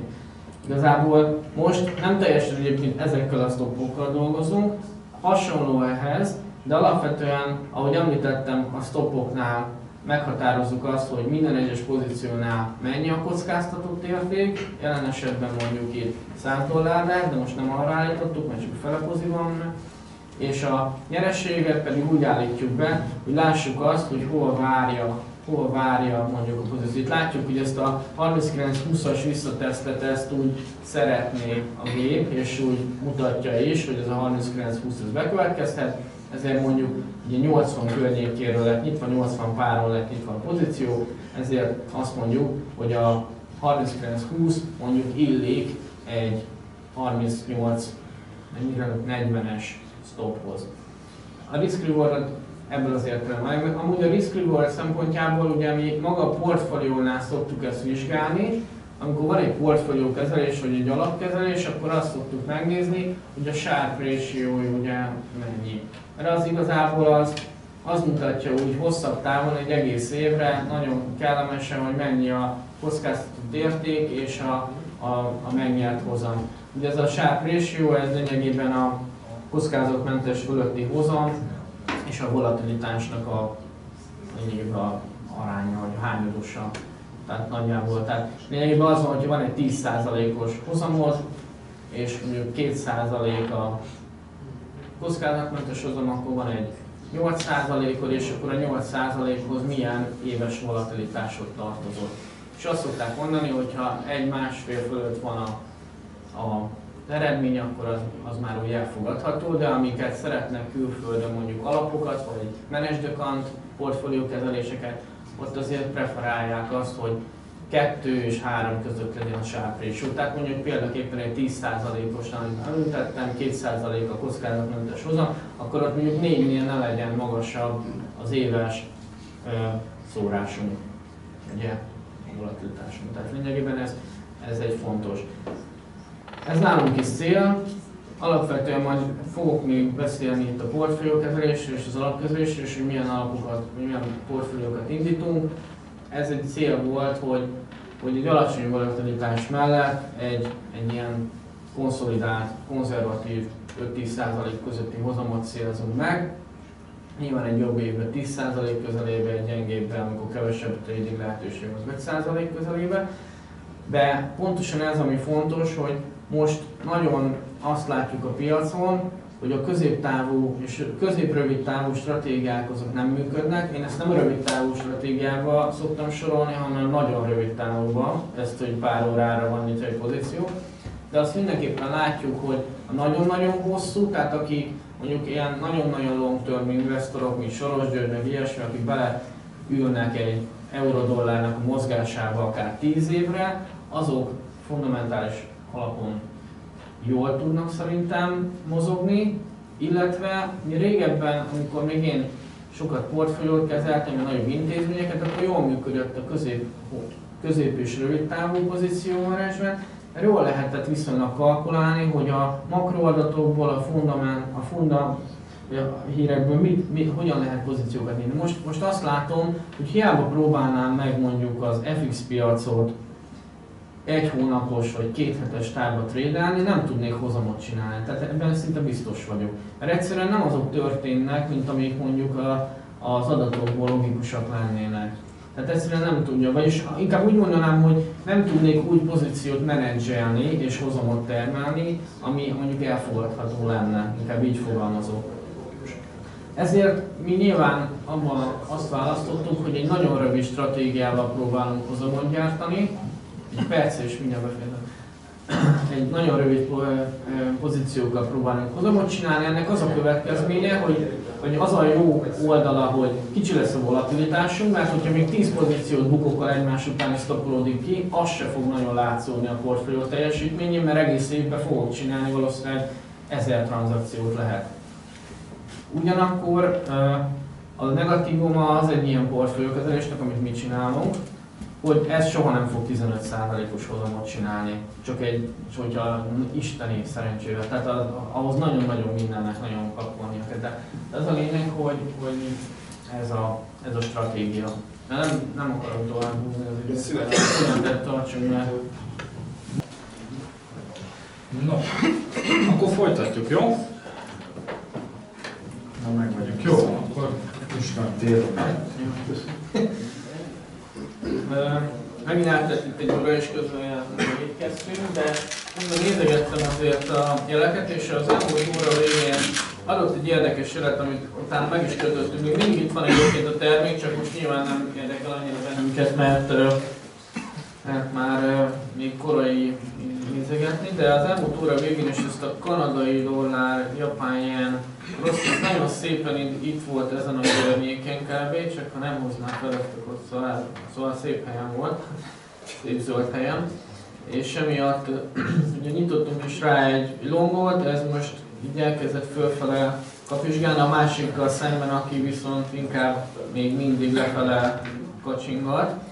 Úgyhogy eh, gyakorlatilag ez azért, azért is tetszett nekem ez a termék, mert eléggé bent volt abban a régióban, ami nekem, nekünk eh, fontos, tehát eh, erős volt a, a fölfele mutató jele is, illetve a, a hagyományos technikai értelemben is jó, jó helyen helyezkedett el.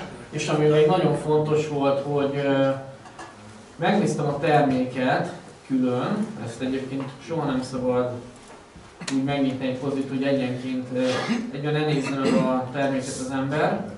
És azt láttam, hogy majdnem minden mutatója, tehát nem csak az órásban mutatta az erős fölfelejelet, hanem 5 percesben is magasat mutatott, még mindig mutatja, illetve ami érdekes volt, hogy naposban is, és ezeket szerettem igazából a legjobban, amikor úgy mutat be egy órás jelet, hogy hogy meg van erősítve nem csak az órás, mert itt látszik, hogy az órás is még mindig, ugye ezt a gyertyát valahol itt nyitottuk ilyen 50 környékén ezt a pozit, ezt a gyertyát így fölfele várom, ez a 80-as célértéket adtam meg körülbelül neki, hogy addig elmehet.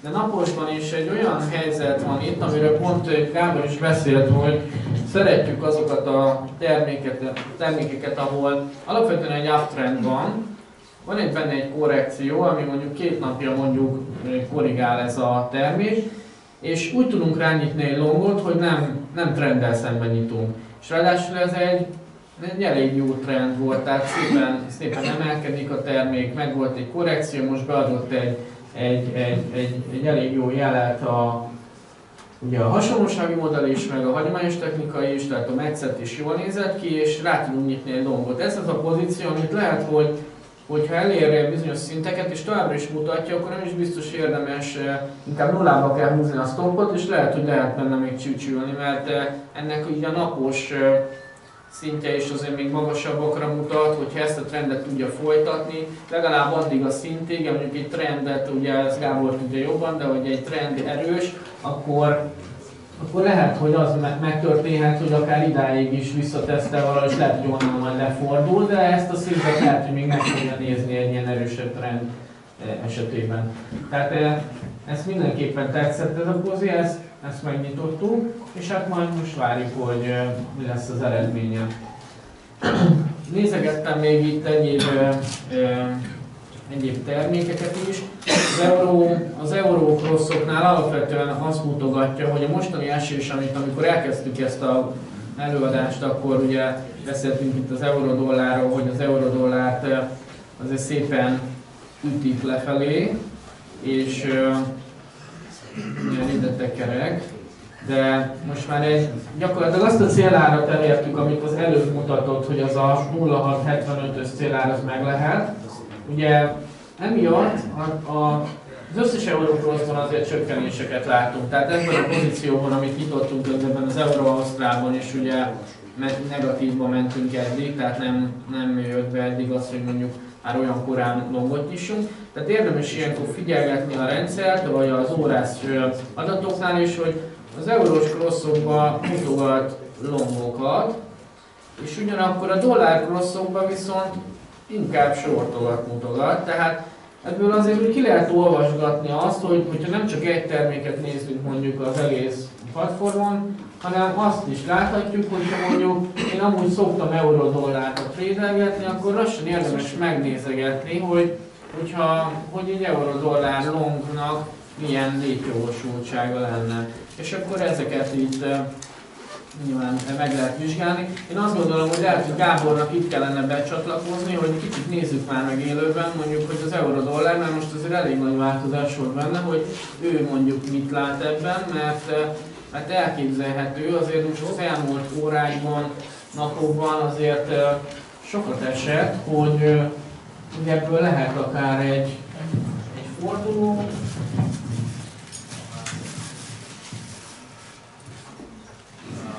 az euró dollárt kicsit megvizsgáljuk, majd már akartam mutatni valami más, de akkor utána.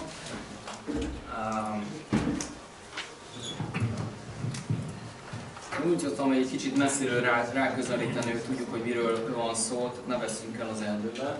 Ez egy fontos bontás az eurodolláros árfolyamnak, vagy párosnak. Volt egy szűkülés, az ugye ez megtört, illetve volt egy komolyabb szint itt egy-egy fölött, amit ugye nem tudott átvinni az árfolyam, és ugye ebből történt egy, egy lefolyás, és ugye visszatért a korábbi aljak alá, ugye még nincs nap vége, ez az 1.07.30-as szintek, amelyek ugye, amelyeket most ugye letölt, ez ugye néhány nappal ez ugye elsőjei, tehát a március 31-i szintek voltak, most az a kérdés, hogy ezeket letölte, és eléggé ugye túladott állapotba kezd kerülni. Most négy órásra váltottam le, tehát itt egy kicsit jobban látjuk, hogy, hogy miről van szó. Sőt, azt föl is fedezhetjük, hogy tulajdonképpen ezzel a letöréssel, ha ez így marad a negyedik óra végéig, akkor validál egy ilyen nagyon szép dupla tetőt is, amivel egy elég jelentős további esésre lehet számítani. Ez, hogy meddig, meddig esett, ugye ez egyrészt korábban, korábbi szintekkel lehet kicsit alátámasztani, másrészt pedig én Fibonacci-t szoktam segítségül hívni, és látom, hogy kicsit kicsúszott a képből. Azt megpróbálom majd hozzáfűzni.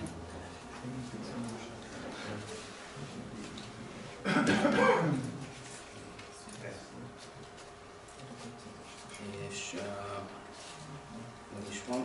Csak ezekkel, ezeket szoktam hogy megvizsgálni, hogy hogy most középtávon milyen, milyen trend, ugye eddig él ugye egy emelkedő trend, egy korrekciós trend ugye az, az esés után, ami itt fordult meg ennél a, ennél a szintnél, így történt is itt egy nagy kihúzás ezt most már leszedem, mert ez centralizál, nem tudom megfogni.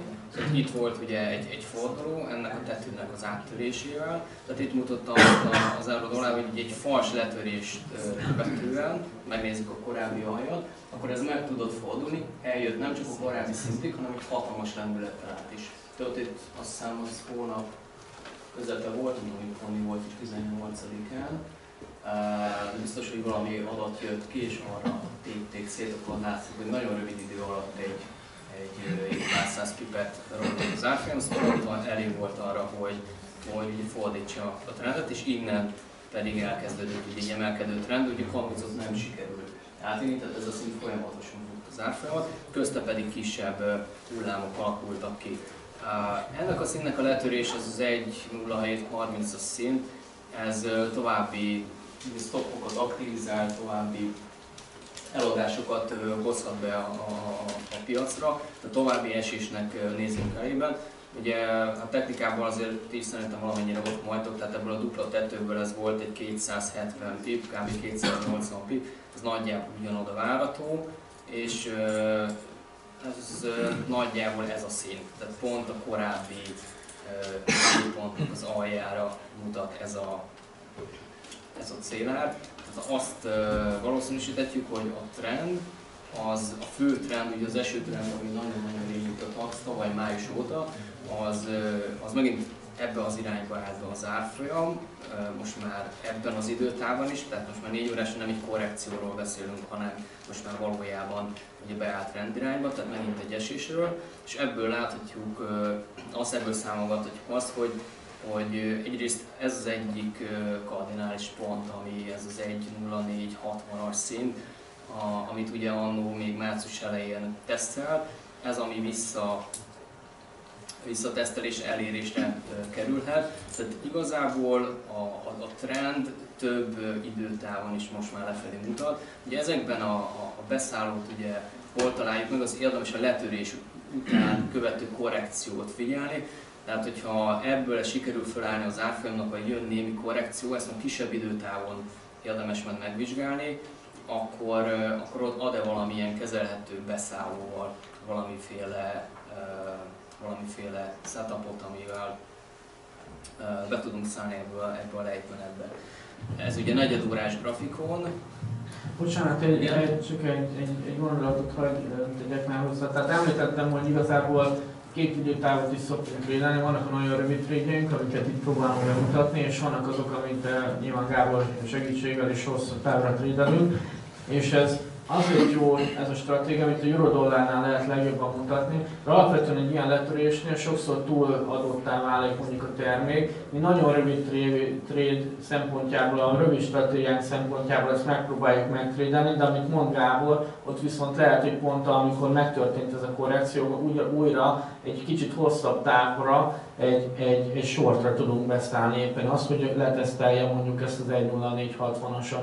Tehát ezért, ezért jó, hogy azt gondolom teljesen más időtávon szemléletben dolgozunk, és ez az, ami a portfóliókezelésben, meg alapoknak kezelésében is nagy segítséget ad, hogy, hogy azért ezzel tudjuk a stratégiákat diversifikálni, hogy a mozgásokat jól kihasználni. Tehát egyértelműen látszik bele, hogy ez a dupla tetőben talán, Gábor is mondta, hogy ez ennek tényleg egy 0,460 lehet a célára, ugyanakkor mi ebben az időszakban fogunk valószínűleg rövid távra longokat is nyitni olyan helyzetekben, amikor túladottá válik mondjuk a piac. De azzal a vizsgálat, az, amit egyrészt István is mondott, és amiket végzünk, ugye én leszoktam menni negyed órásba, és itt is megvizsgálom, hogy jó, jó, jó letört, és az milyen lendületet tett, ez elég szignifikánsnak látszik. Viszont itt látszik már egy picit, hogy, hogy túladott az árfolyam, viszont igazából komolyabb szintek nincsenek. Ezek a piros vonalkák, ezeknél, amit negyed órás, négy órás szinteket jelölnek. Ez nem nagy titok. Ezeknél látszik az, hogy, hogy azért meg megtorpan az árfolyam, tehát hogy kicsit fölnagyítom a, a képet, akkor néha egy kicsit túlszúr rajta, néha egy kicsit alámegy, de az látszik, hogy ezek a, ezek a szintek azért fogják az árfolyamot, tehát nem, nem mindig egyből esnek át rajta. Itt ennél a letörésnél is volt egy, egy pici kis dupla itt a mai nap, egy visszahúzás, de nem sikerült fölmenni a korábbi tető föl, és ebből jött utána egy elég komoly beszakadás. Ebből, hogyha egy éres korrekció jön, akkor ez az 1.07 30-40-es szint, ez már egy igen komoly ellenállás lesz, tehát ezen átverekedni magát most úgy néz ki, hogy elég nehézkes, visszateszteni visszatesztelhet. Ha hasonló lendülettel folytatnál lefelé, bár most elég szépen hullámzott az árfolyam mindkét irányba, akkor azt láthatjuk, hogy, hogy naposan, négy óráson csak szakatlan az árfolyam szakadt szakadt, tehát igazából jelentő korrekció nem volt. Ez a május vagy március elejétől beindult időszak viszont egy olyan, ami, ami, ami egy pihenőt hozott. Innen egy kicsit talán könnyebb számolgatni, könnyebb méricskélni az, hogy, hogy vajon meddig ment az árfolyam. Tehát itt most igazából tényleg azt kell figyelni, hogy ez az 107 30-as szint, ez, ez hogy kerül visszatesztelésre, tehát ez biztos, hogy egy elég erős ellenállás, és hogy itt mit fog, hogyan fog viselkedni az árfolyam, milyen lendülettel jön vissza, milyen formációt fog kialakítani, nem csak negyed óráson, hanem más időtávon is. Tehát az összes olyan nyomot, amit, amit hagy a grafikon, ezeket különböző időtávokon elemzünk, és ebből születik egy, egy eredő, egy döntés, hogy vagy igen kezdjünk vele valamit, vagy nem, ne kezdjünk vele valamit, illetve van-e valami kezelhető kockázatú beszálló, akár egy, egy néhány napos trade vagy pedig nincs. Tehát ez a, ez a mai letörés, ez itt marad, mert ugye a nap végén még azért egy kicsit messze van, akkor, akkor ez jelzést adhat arra, hogy ez, ez lefelé akar-e folytatni. Ellenben, hogyha ugye visszajön ugye a, letört szint fölé, akkor gondolkodóba esetünk, hogy volt egy hatalmas nagy leszúrás, ami viszont nem csak fölfelé fordíthatja, tehát visszarántják a sávba az árfolyamot, tehát ugyanolyan leszúrás lehet, mint fönt az a kiszúráson van a képon indulni, viszont ez egy kicsit nagyobb ahhoz, tehát valószínűleg hogy ez a letörés főleg ugye a napos főtrend irányába történik, ez, ez valószínűleg, hogy inkább lefelé uh, folytatni, legalábbis nagyon abba az irányba mutatja ez a letörés, illetve ennek a lendülete. A másik, amit itt is egyébként föl lehet fedezni a hasonlóságokat, nem ennél, hanem egy, hanem egy index, egy amerikai index, az S&P-nél. Ezt akartam megmutatni nektek, hogy érdemes úgy vizsgálódni, néha ilyen ez az ilyen kis helikopter módszert érdemes elővenni, és teljesen lebutítani a grafikont, hogy, hogy miről is van szó, ha éppen bejelentkezünk. Most az S&P 500 az pont ilyen, hogy hogy ez most mi a frászt akar itt csinálni.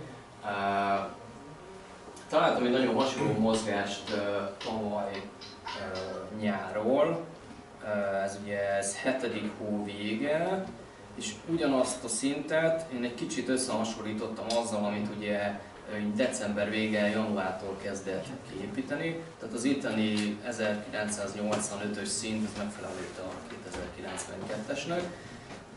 Akkor itt láttunk szeptemberben egy kitörési kísérletet, ugye 2000 felé az S&P, ez nem sikerült, utána jött egy ilyen, ilyen villámkrak, ami 1850 alá beszorult az árfolyamot, majd pedig onnan indult egy hatalmas nagy visszarántás, egy nagyon gyors visszatesz, tehát marha nagy volatilitás volt. És ebből próbál meg tovább és tovább építkezni. A trend az lát, látványosan lomb, tehát emelkedő, viszont a hasonlóság az, hogy a korábbi csúcspontot követő kitörés, itt volt egy ilyen pici kis dupla csúcs, vagy ilyen próbálkozás, hogy fölfelé kétszer, az itt egy kísérletesen hasonlít arra, amit itt a 2092 felé próbált megtenni, azzal a különbség, hogy itt a második csúcs mondjuk alacsonyabb, ha valaki ilyen tankönyvi példához ragaszkodik, akkor ez inkább ilyen dupla csúcs formáció alakulhat majd ki, de ott van az a 2040-es szint, ami még mindig nem esett el, ráadásul az 50 napos és a 200 napos közé van beszorulva az index, ami tovább bonyolítja a dolgot. Ilyenkor két dolog van, egy, nem csinálunk semmit, mert azt mondjuk, hogy köszönjük szépen nem. Kettő, van egy elképzelésünk, és hát a megfelelő pozícióval, általában kisebben, mint szoktuk, kicsit tágabb stoppal meg lehet próbálni az egyik irány. Lehet rendel szemben, és lehet csak sávra játszani, ami 2090 és 2040 között van, tehát van egy 50 pontos sáv, tehát meg lehet próbálni ezt játszani. Hát azt látható, hogy, hogy e két érték közül, amíg a piac nem mozdul ki, addig itt eléggé keserves daráról lehet, mert nagyon gyorsan változnak a, a, a napon belüli trendek. Ezt észrevettétek az elmúlt napokban, hogy mindjárt fölteszek egy negyedórás voltást is. Itt igazából a hasonlóságra akartam utalni, azért érek erre vissza, hogy nagyon hasonlót láthattunk tavaly nyáron, és nagyon hasonlót látunk most, hogy mi következik belőle, nyilván nem tudom, nincs, aki megmondja, viszont ezek a hasonlóságok, ez, ez ha bárki nézi, vagy bárki talál valami hasonlót a csáton, lehet ez 5 perces, lehet ez napos bontású egyébként, bármilyen időtávon ez, ez működik, grafikon, grafikon, az időtáv az már nem teljesen mindegy. Tehát, hogyha valami hasonlóságot látunk, egyébként ezek a hasonlóságok, amik az ember fejében, amit az István is mondott, hogy megmaradnak. Tehát ezt is lehetne mondjuk modellbe használni, hogy most az én fejemben azt mondja, hogy ha így és így viselkedik, és ha letöri a, a 2040-es szintet, mint itt ennél az esetben ezt a, ezt a pontot, akkor, akkor lehet egy hasonló mély kirázás és zuhatag, mint annó akkor volt. Miért? Mert akkor tapasztaltunk egy ilyet, láttunk egy ilyet, tudtuk, hogy mi történt, ott is elkezdődött, hogy lesz. Nem tudjuk, hogy mekkora lesz a mértéke, de a történelem ismétli magát, önmagát, és, és láthatunk ilyen hasonlóságot, láthatunk ilyen, ilyen mélyebb meg, meg, megbicsaklásokat, aztán nyilván utána megint mehet a másik irányba. És akkor láthatjuk majd igazából a trendfordulót, hogy, hogy miért mondom azt, hogy, hogy előfordulhat egy ilyen, hát egyrészt pont itt a hasonlóság miatt, másrészt pedig ott is egy nagyon erős trendet láttunk, egy nagyon erős trend volt, és ugye nem gondolta volna, hogy ez ekkorát fog beesni. Hát sikerült ugye egyből a 200-as mozgó alá begyűlni. Most ugyanez, ugyanez benne van a pakliban. A, a mértéke az, az egy kicsit korlátozódik, tehát olyan nagy mértékben nem lesz, igen? Ja, jó. Pillanat egy kis technikai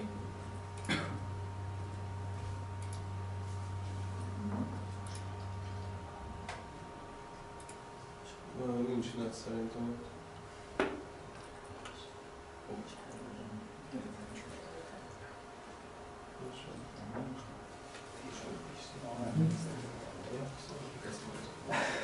Jó, nem baj.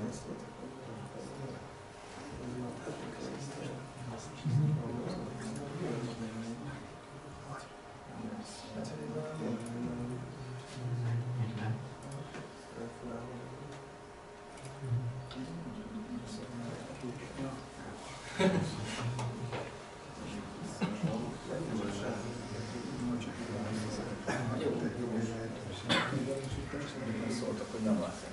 Nem rossz. Jó, hogy a hangozó. A hang az úgy, az tőlem.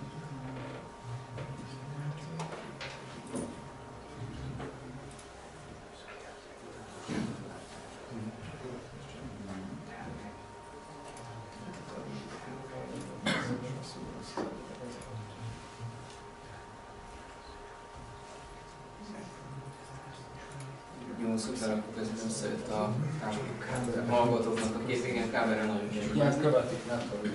Oké, oké. Uh, Tehát ezzel az esettel is uh, számolni kell, vagy számolhatunk, mi van akkor, hogyha ez bekövetkezik.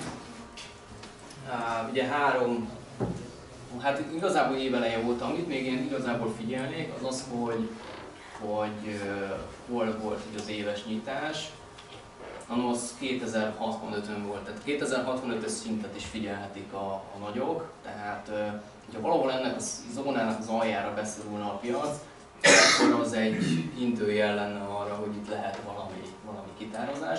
De az egyértelműen látszik, hogy a tavaly, mikor kezdett itt oldalazni, de tavalyi decemberi szintekhez képest ugyanott van a piac. Tehát igazából nulla a teljesítmény, múlt évben nagyon sokat ment az S&P, azóta, azóta szinte nullában van. Tehát hogyha ezt egy gyertyába kéne foglalni, akkor mondhatnánk, hogy kb. egy doji látunk egyelőre idén, tehát nagy menet nincs, ez most még nem információ, majd december 31-én lesz az, hogy mit csinált az idei évben, de itt látszik némi fáradtság az indexben, de még, de még nem az, amit, ami, amiben most nagyon bele kell adni és nagyon realizálni kell. Tehát úgy néz ki, hogy a piac egyenlő egy ilyen kivárá, kivárós állásponton van, kétszer megkísérelt, a kitörés nem sikerült, ez, ez, ez, ez elvette a kedvét a, a vételi oldalnak, viszont hogy az eladók sem nagyon jöttek vissza, illetve megveszik a piacot ezeken a 2040-es szinteken. Érthető módon közel van a 200-as mozgóhoz, és ott már elkezdenek megint tankolni.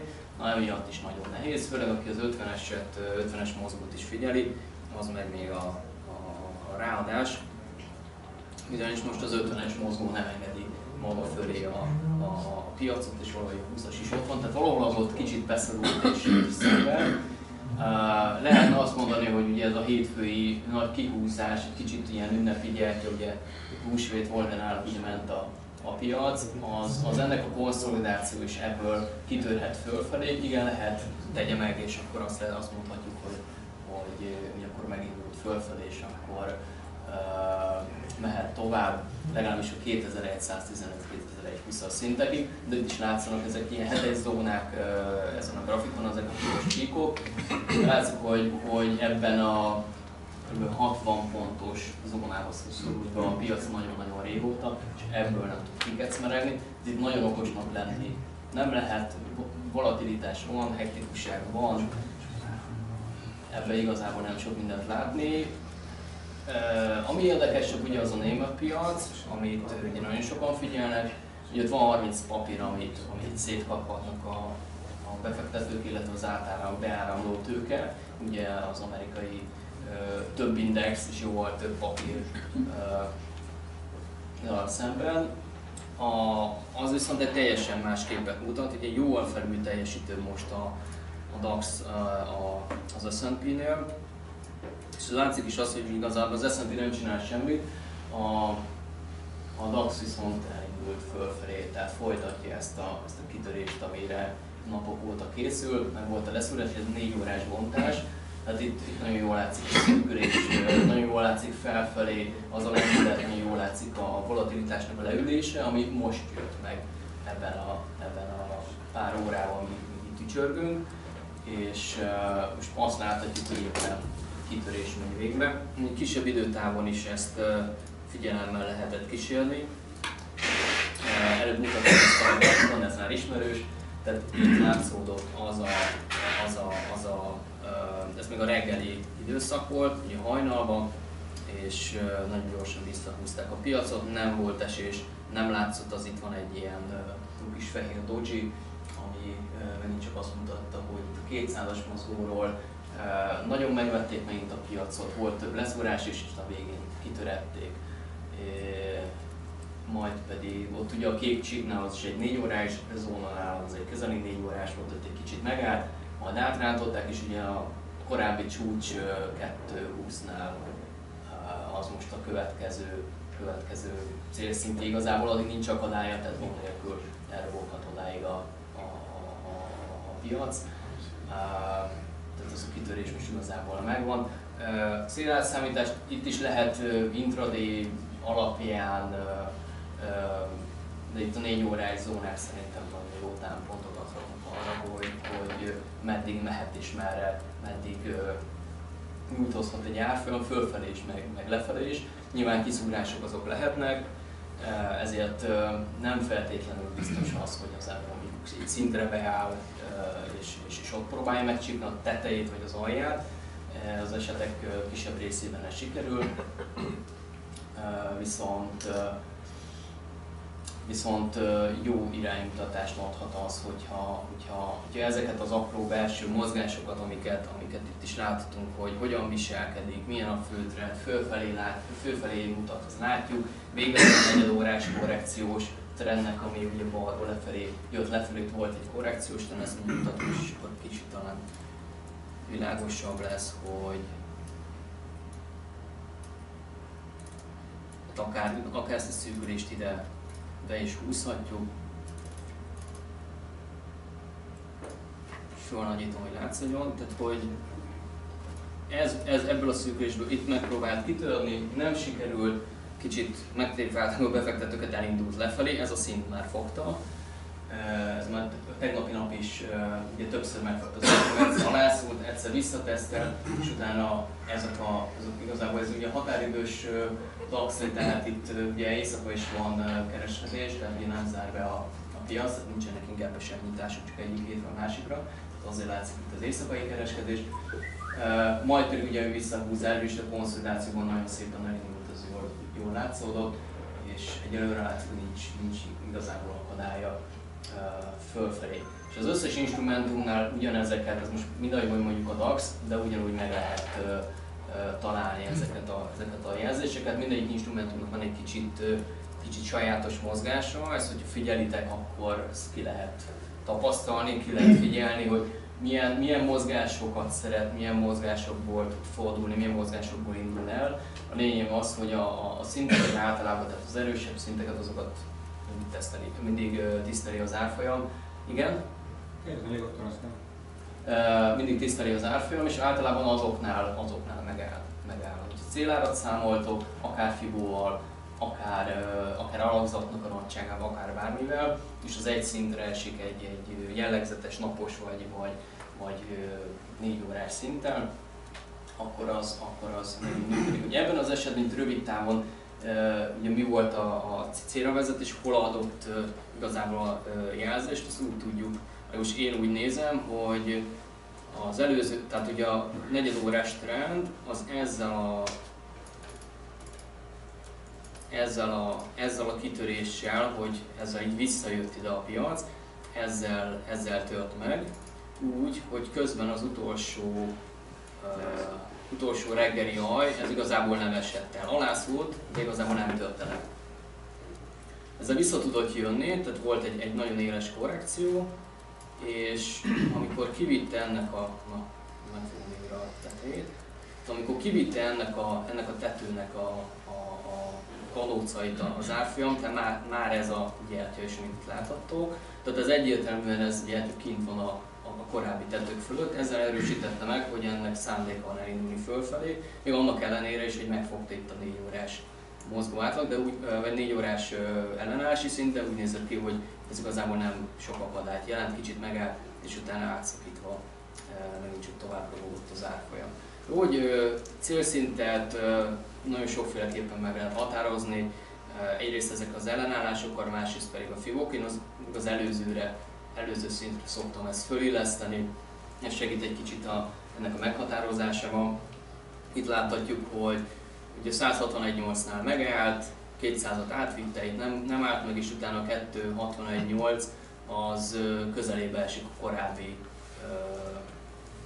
ATH-nak vagy csúcsnak, tehát valószínűleg, hogy ott 200 fölött azért pihenő lesz, tehát ha ma is ma elrángatják odáig, akkor, akkor ott nagy valószínűséggel lesz egy hasonló megálló, mint a 168-nál, vagy egy, egy nagyobb korrekció indul, főleg, hogy addigra egy elég jelentős emelkedés fog produkálni ugye a mai naptól, már ugye ment 133 pontot, nem is sok, a 160 is lenne igazából nagyon sok, de az egy kellemes teljesítmény.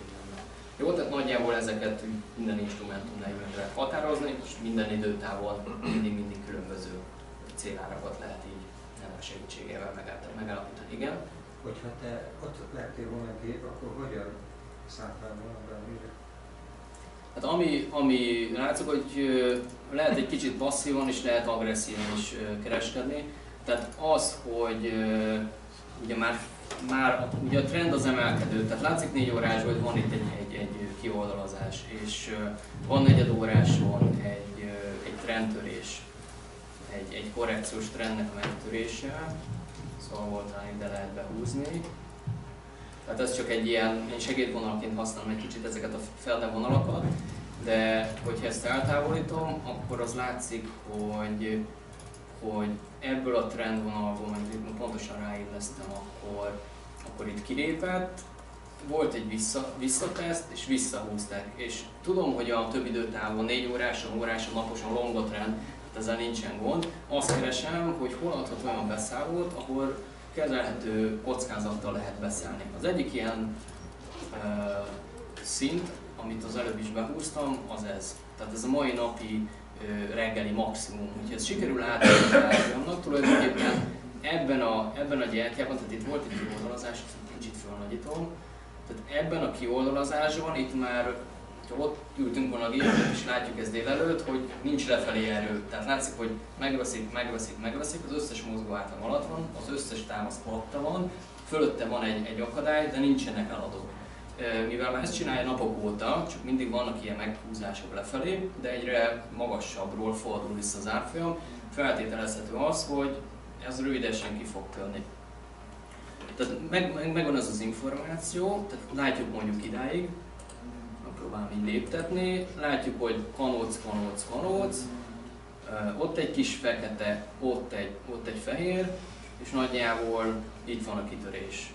Tehát ebben a hosszú, hosszú kanócos gyertyában. Ha itt van a kitörés, akkor a stopot, hogyha nagyon szűken akarom tenni, akkor beteszem ide, az körülbelül 35 pont. Úgyhogy egy picit ö, nagyobb luftot hagyok neki, akkor azt mondom, hogy tehát hosszabb távra tervezem, akkor viszont a mai nap alá teszem be ilyen 40, 40 alá egy picivel. Az rendben van, hogy 70, 70 pont lefelé, de hogyha azt várom, hogy nagyobb időtávon megcsinálja ezeket a 250-es, illetve ezeket a 370-es szinteket, amiket ezek néhány napos távlatban kiadódnak a magzon, akkor azt mondom, hogy akkor a 70 pip lefelé és a, a 200 pip fölfelé, illetve a 104 pip fölfelé, vagy 104 pont fölfelé, az azért elég jó arány még mindig ahhoz képest, hogy trendirányban van, kitörés, tehát minden, minden nagyon-nagyon. Tehát így érdemes, én így szoktam visszafinomítani a, a, a, a időtávokat. És erre a hosszú kanocosra beszálltál volna úgy? be lehet szállni, beszálltam volna, mert, mert teljesített azt a feltételt, hogy kitölt. Már ez is egy kicsit fölötte van, de még nem szignifikáns. De már ez, ez adhat egy, egy olyat, hogyha valaki agresszív, akkor ennél beszáll. És azt mondja, hogy akkor beadja mondjuk 30-25-30 pontra a stoppot, nagyon szűken, mert ha ebből ez nem indul el, akkor nagyon gyorsan. Uh, viszont, hogyha megerősítést kap, akkor meg fogja csinálni ezeket a, ezeket a célárakat, ezeket a szinteket, valószínűleg megpróbálják majd elrángatni megint, megint 200-ig, vagy legalább 200 felé, hogy ott kicsit kiszedjék a stoppokat.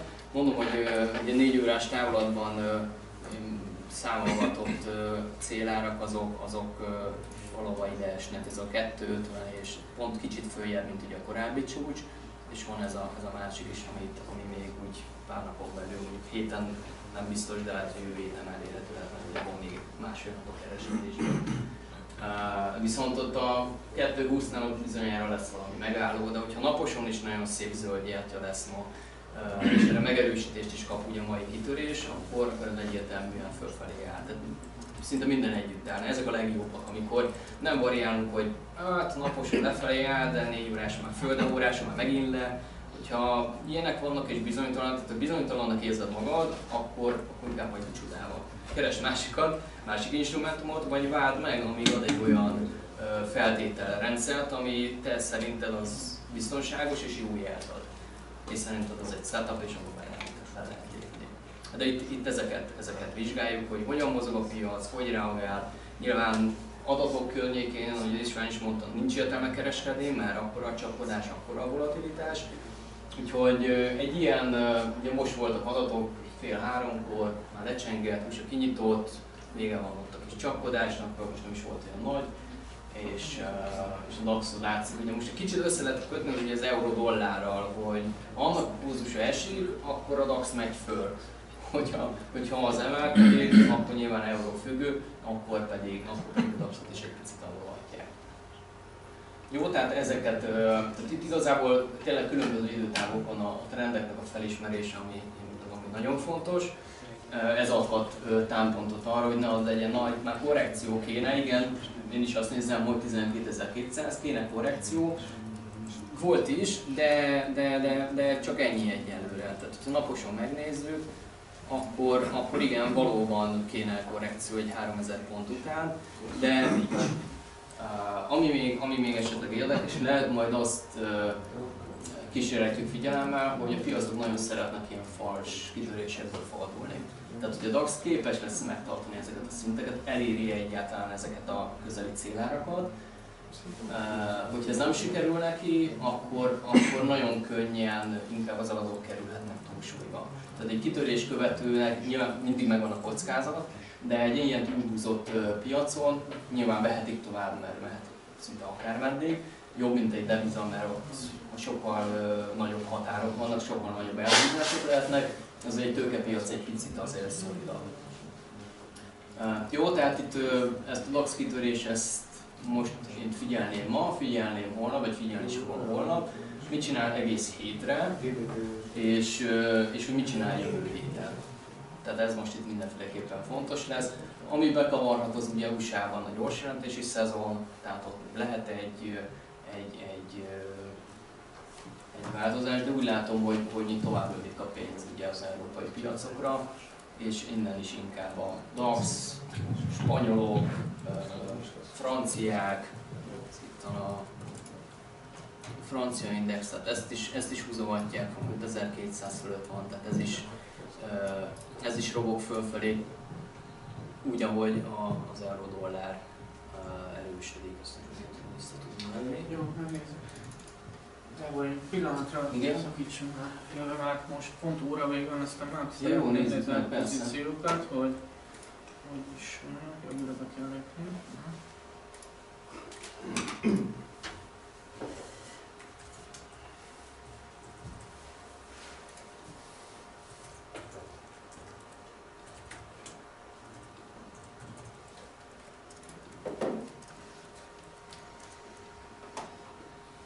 Na, ugye van, van akkor kettő pozíció.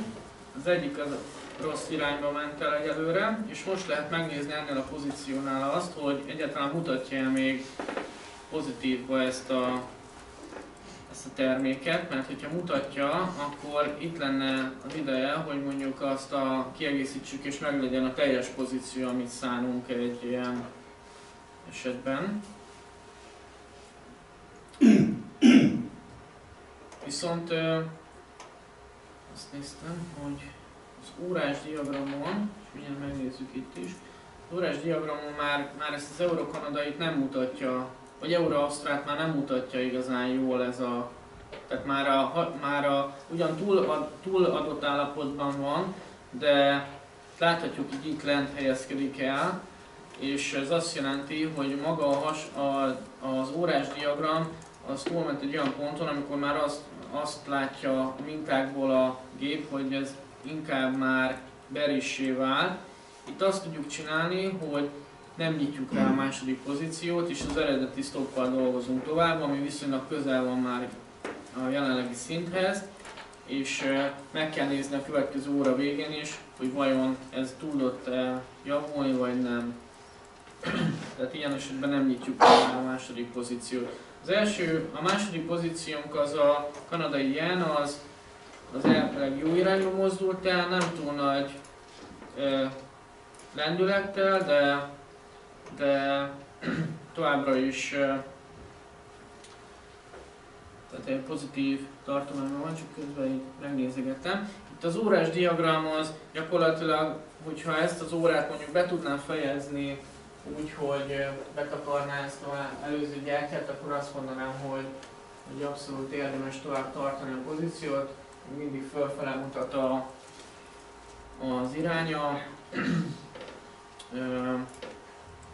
Lehet látni itt az órás dolognál is, hogy még a ugyan már nem túl adott állapotú, tehát már közelít az x tengerhez, tehát a maga hagyományos technikai indikátorok alapján már nem indokolt, de az uptrend az még mindig hasonlósági modell alapján erős, így azt gondoljuk, hogy futtathatjuk tovább ezt a pozíciót, és nézzük tovább, hogy ö, hogyan fog tovább teljesíteni Vizualizáció, vagy vannak-e még most belépők? Nézzük meg. vizualizáció. Nézzük.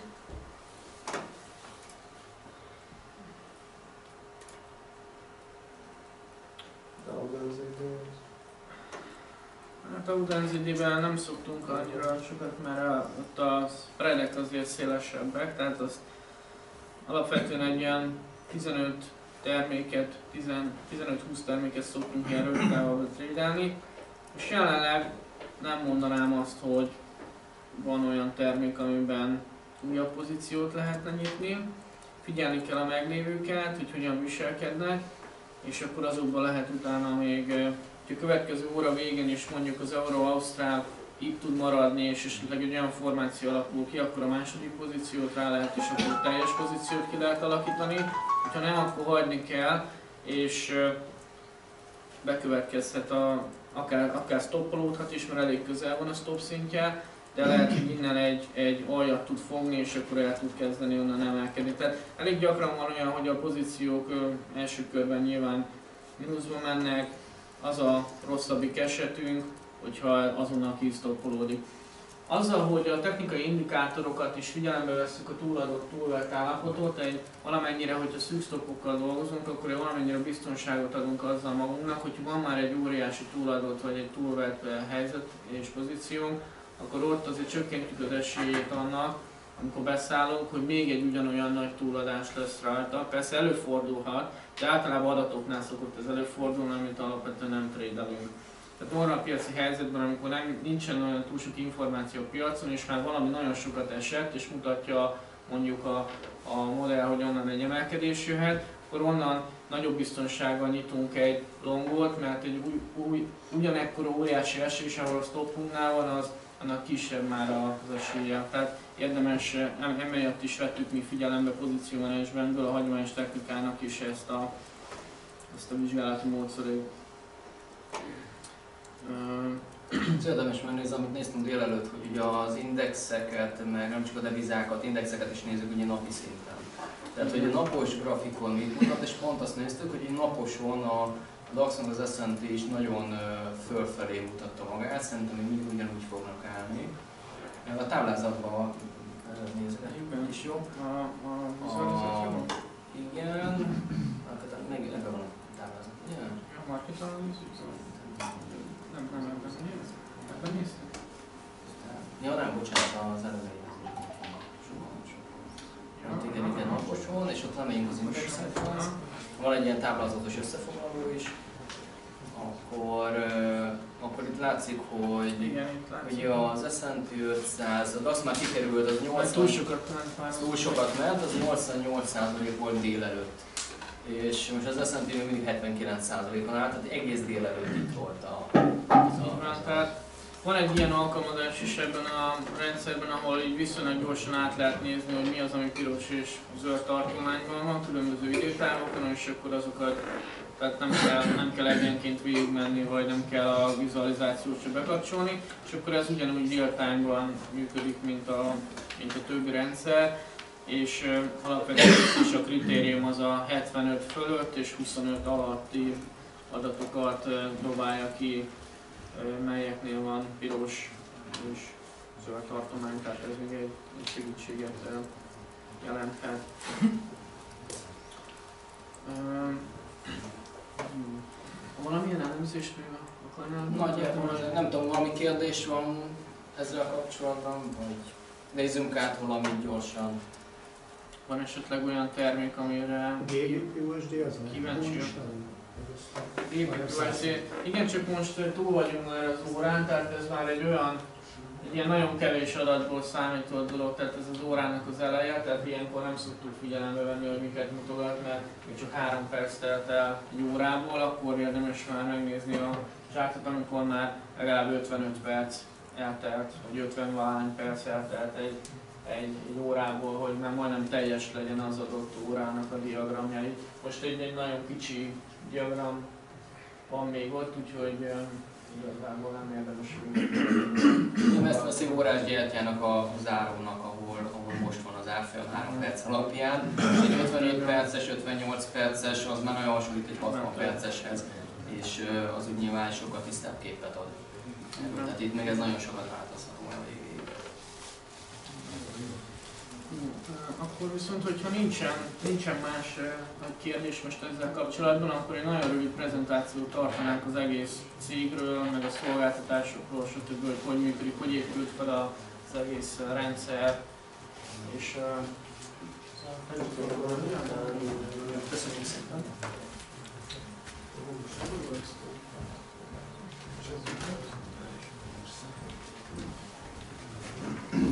Én csak?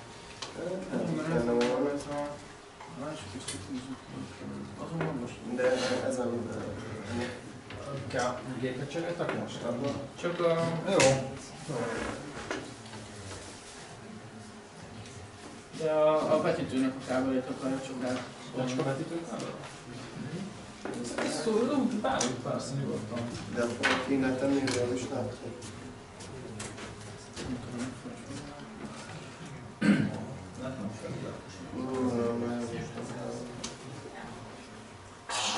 Az csak. Hát ezen... Van reprezik, nem tudom, akkor viszont van. Az belőle nincs.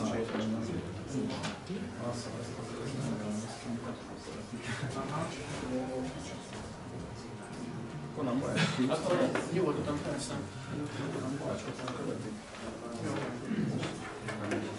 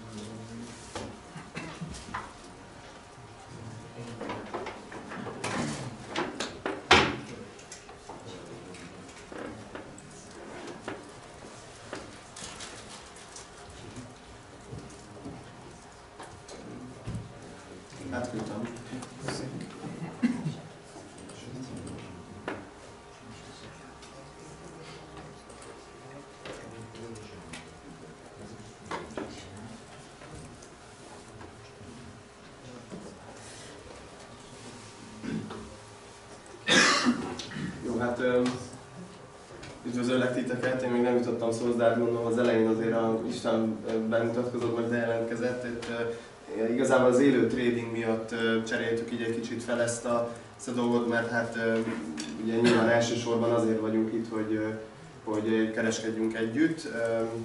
Most a Gábor egy kicsit végig elem- elemezte ugye a piacokat egyébként, tehát hogyha bármi instrumentum van, amit ti figyeltek, vagy, vagy megnézzük közösen, akkor szóljatok, át tudjuk nézni, tehát igazából azért vagyunk itt. Egy pár szót beszélnék rólunk, csak nagyon röviden a, a történetünkről. Ö, 2008-ban alakult meg a Market Pro Kft. és gyakorlatilag onnan lineárisan ugye egyre több mindennel foglalkozunk. A tavalyi évben alapítottuk meg pedig a Market Progress Management ZRT-t, ugye azzal a célral, hogy eddig ugye csak ügyfélközvetítés volt a GFT fele, illetve a, a hasonlósági modell alapján trédeltünk. Ezt szerettük volna úgy kiterjeszteni, hogy, hogy ugye hivatalosan is fel tudjuk használni ezt a általunk kialakított programot arra, hogy, hogy tényleg a nagy ligába belépjünk, és gyakorlatilag alapkezelésbe, illetve portfóliókezelésbe vágjunk. És hát ez az idei évtől, ahogy megkaptuk az MNB engedélyét egyébként idén februárban, és a tevékenységét is elkezdtük most még néhány héttel ezelőtt, úgyhogy, úgyhogy szerencsére ezeket el tudtuk. A, a C, az alapközül az ERT-ről pár info, ugye 2011. május 26-án alapítottuk 50 millió forint törstőkével, és a tulajdonosi struktúra ugye az a 50%-ban a, a KFT és 50%-ban egy, egy magánszemély, a címünk pedig a Monpark Sastoronyban vagyunk, ott várunk szeretettel bárkit, időpont egyeztetés után, hogyha a, a, a három kollégánk, ugye van Várkonyi István, aki, aki ugye itt van velünk, Hamar Márton, ő a igazgatóság tagja, a másik ügyvezető, és ő egy ugye portfólió menedzser is, neki lesz egy alap, amiről majd később fog beszélni, amit elindít, ez egy, ez egy hedge fund alapok alapja lesz. Ilyen még Magyarországon nincs, úgyhogy ez relatíve újdonság, illetve Mikec Alexandra, ő, ő is a igazgatóság tagja és a back office vezető.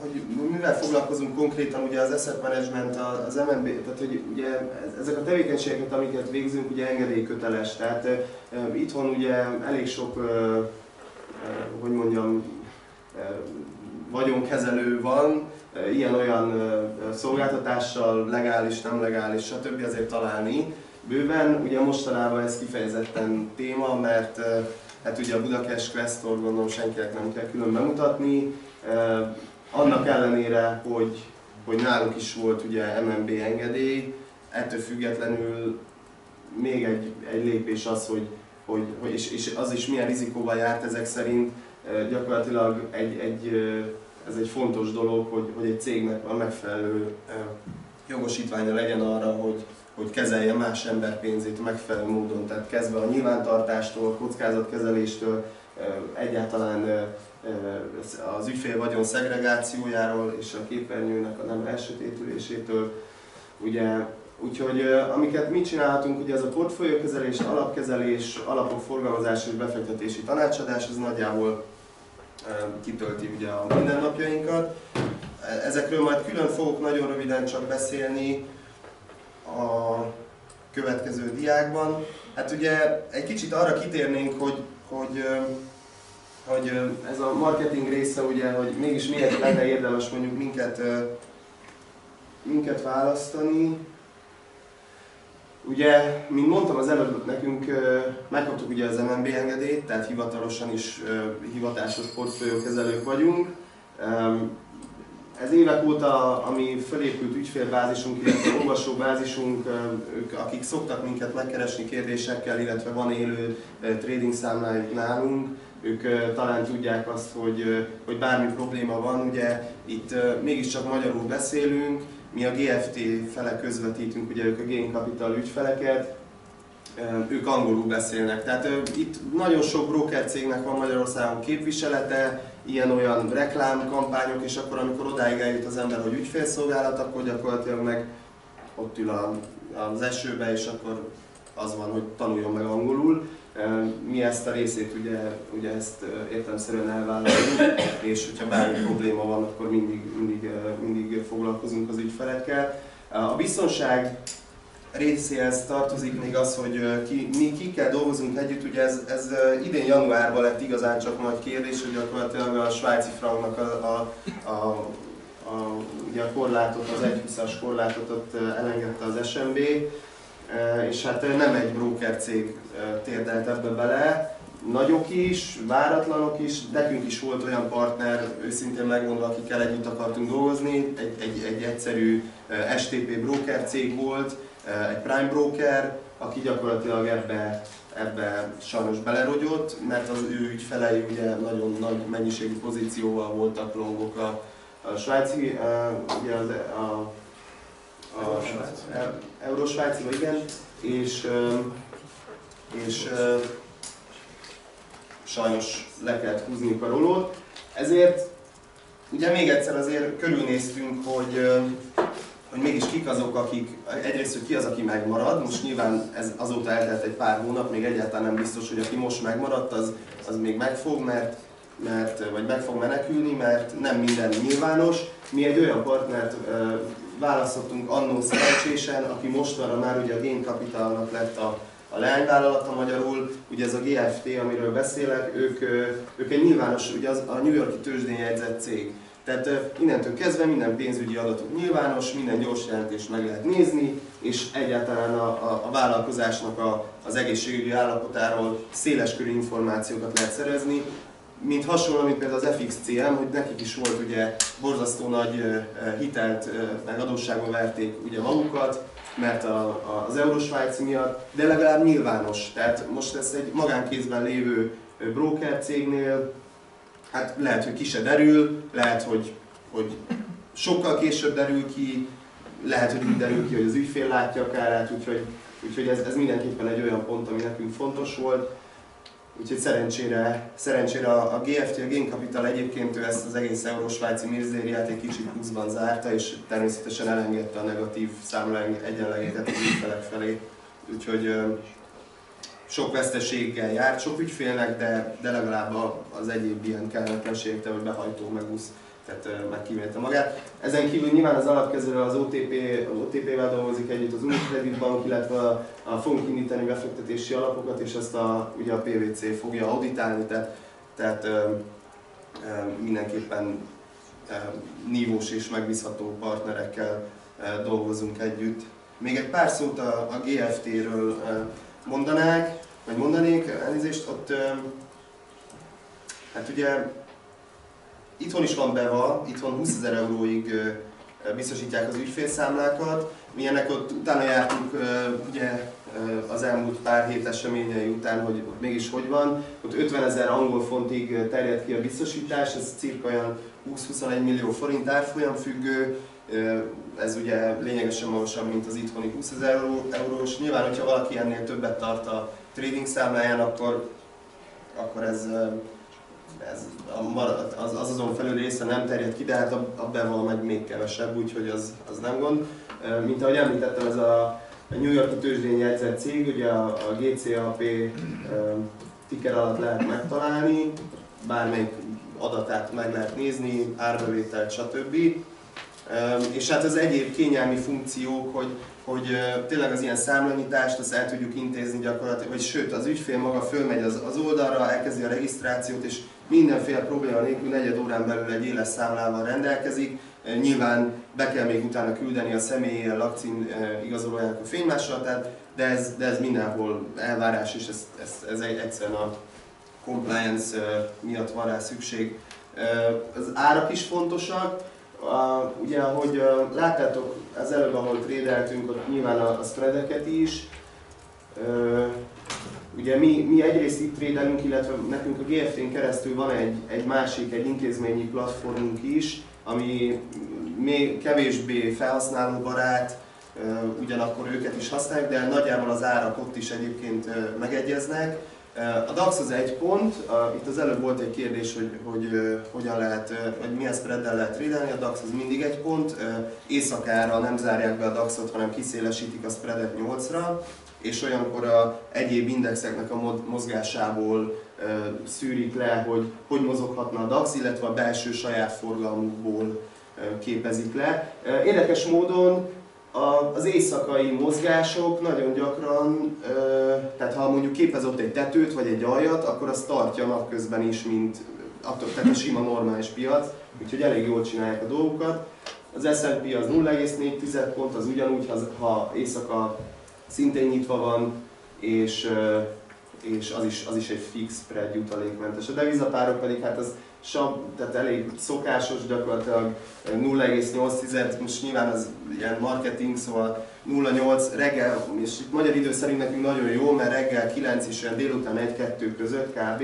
Általában olyankor 0,8 szokott lenni az euró-dollár, utána, hogy fölébred Amerika, akkor, akkor nyilván kiszélesítik, mert akkor van nekik a legnagyobb forgalmuk, és akkor ilyen egy hét körül szokott lenni egyébként. Tehát én, én azt gondolom, hogy ez egy, ez egy versenyképes ár, és nyilván a, a termékek köre, tehát a, a részvények indexek, tehát minden, akár a magyar piac is elérhető teljes körülön, vagy az ausztrál, vagy a, vagy a amerikai, vagy teljesen mindegy, ezek CFD formában lehet ezeket lekereskedni.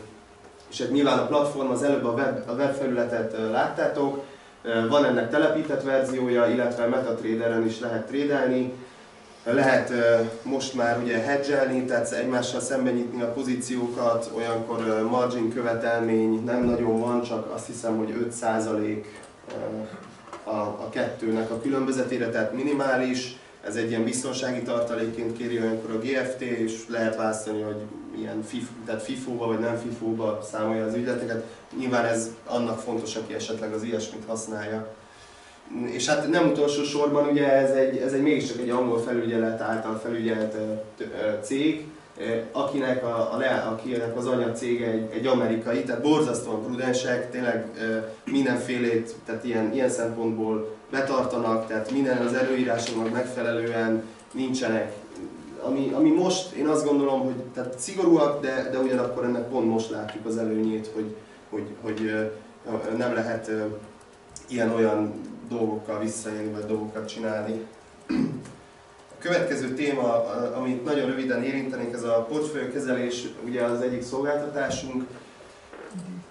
Ezt alapvetően hoztunk anyagokat erről egyébként, úgyhogy mindenkit, aki szeretne ezt flyer formájában, illetve egy brosúra formájában megtalálja, azt nyugodtan otthon elő, és akkor vegyen belőle. Alapvetően három fajta portfóliókezelési szolgáltatásunk van, ezek ugye nyilván hasonlóak, de, de a vagyon függvényében változnak. Az 1 és 5 millió forint közötti befektetőknek van ez a start vagyonkezelési programunk. programunk. Itt a, a, a, elsősorban a Market Pro hasonlósági modell alapján kialakult jeleket trédeljük elsősorban deviza párokon. Ugye ez egész egyszerűen azért van, mert egy 1 millió forintos portfőkezelési számla az nem elég nagy ahhoz, hogy azon trédeljünk mondjuk teszem azt ö, valamilyen nyersanyagot, mondjuk olajat. Tehát hogy az, az ö, úgy, hogy normális kockázatkezelés közben. Ugye itt az István említette, hogy, hogy milyen hozamokat lövünk mi be, ugye most senki nincs attól elájulva, hogy évi 5-10% környékét célzunk mi meg.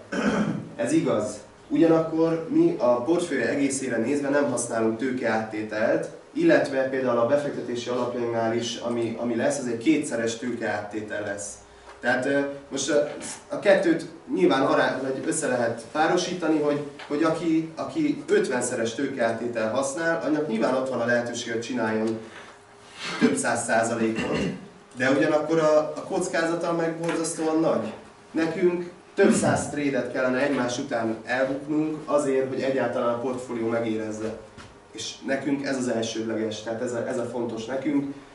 Emellett a, a tapasztalat nekünk azt mutatja, hogy, hogy egy 5-10%-os hozamot meg lehet csinálni, ez ugye euró alapú is lehet. Itt a, a, ennek a lényege egyébként az, hogy a portfólió, a kezelt vagyonnak a java része 80, akár 90%-os állampapírban van, vagy valamilyen államkötvényben, és a maradék 10% kerül felhasználásra tradingre egy margin számlán, magyarul a java része a portfóliónak magától is generál valamennyi hozamot, és azon felül az aktív kereskedéssel tesszük hozzá mi ugye ezt a maradék 4-5 A multi-asset vagyonkezelési program ugye az 5 és 20 millió forint közötti vagyonnal rendelkezőknek ajánljuk. Itt bele tudjuk venni ugye az indexeket, illetve itt már most nincs odaírva, de árupiaci termékeket is lehet ebben már kereskedni normális kockázati profillal és, és egy normális várható hozammal, illetve az exkluzív vagyonkezelési szolgáltatás, ugye ez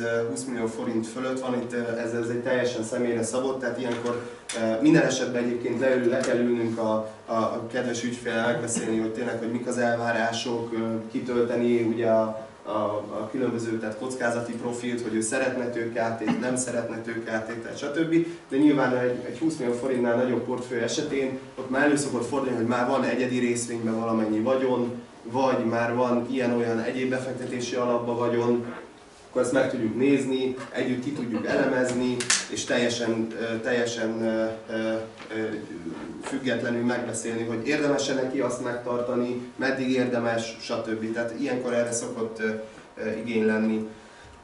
Ugye ez az, amire beszéltem, hogy lehet választani kockázati ugye kitett, tehát gyakorlatilag, hogy ilyen kockázati csomagot, itt három fele osztottuk, a befektetési alapjaink, illetve a alapvetően mi a kettes verzióban működünk, ez egy maximális kétszeres tőkeátétel, tehát ha valaki 1 millió forinttal kezel, 1 millió forintos vagyont tesz hozzánk vagyonkezelés céljából, akkor a maximum pozíciók egyszerre ugye 2 millió forint nagyságot tehetnek ki. Ez biztonságos relatíve, tehát ahhoz képest, hogy hogy ugye mennyit enged egyébként egy, egy broker cég, meg hát természetesen ezt mindig az ügyfél választja tehát nem, nem kötelező lehet anélkül is, a, a tőkeátétel nélkül is használni, ez nyilván a, a tőkevesztés valószínűsége nagyon kicsi, de a hozam is itt ö, arányában van ennek. Hogy...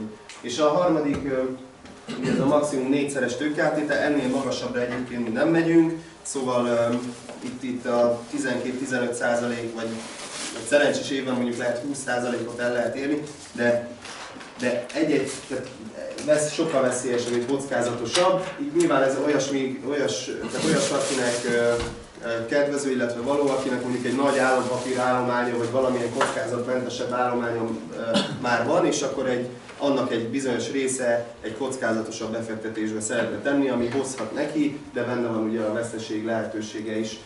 Ugye ez arra alkalmas leginkább, ez mindenkinek ugye egyénileg lehet belőni. A portfóliókezeléssel kapcsolatban, tehát hogyha valaki nálunk portfóliót kezelhet, akkor semmiféle díj, ilyen számlavezetési, vagy kivonatokért, nem tudom még, lehet, hogy jobban tudjátok, hogy mit szoktak még levonni az ilyen broker cégek díjak gyanánt, nem is tudom, kiküldeni a szerződést, vagy, vagy hát nem tudom. Mi ilyeneket nem számolunk fel, nekünk borzasztóan egyszerűen működik az egész. Alapvetően egy portfőkezelési díj az 1%-ról indul, és a sikerdíj a benchmark között felett elért hozam 20%-a. Ez egy high watermark, tehát hogyha nulla vagy annál kisebb a hozam, hiába a benchmark mondjuk mínuszos, mi akkor ugye nem vonunk be sikerdíjat, mert ugye csak, tehát hiába, tehát van, aki azt mondja, hogy de hát a benchmark csinált mínusz 10 én meg csak mínusz 8-at, akkor én kettővel jobb voltam, és akkor kérem a jussomat. Ez ez mi ebben nem, nem gondolunk, hogy ez, ez egy korrekt dolog, úgyhogy inkább csak nyilván ha csináltunk hozamot, akkor abból lehet e, sikerdíjat számolni benchmark felett. Ugye ez egy magyar portfólió esetén egy Zemax, Európortfólió esetén pedig az Euribor, ez e, elég egyértelmű. Itt e, a, a díjak ugye nincsen egyéb díj a, a, a fix díjon és a sikerdíjon felül. Itt egy nagyon egyszerű összehasonlítás, a 10% esetén ugye ez, ezt azért került bele a prezentációba, mert sok embernek van befektetési jegye, valamilyen befektetési alapba, és aztán nagyon örül neki, hogy ő nem fizet semmilyen díjat, maximum számvezetési díj, vagy állományi díj, vagy stb.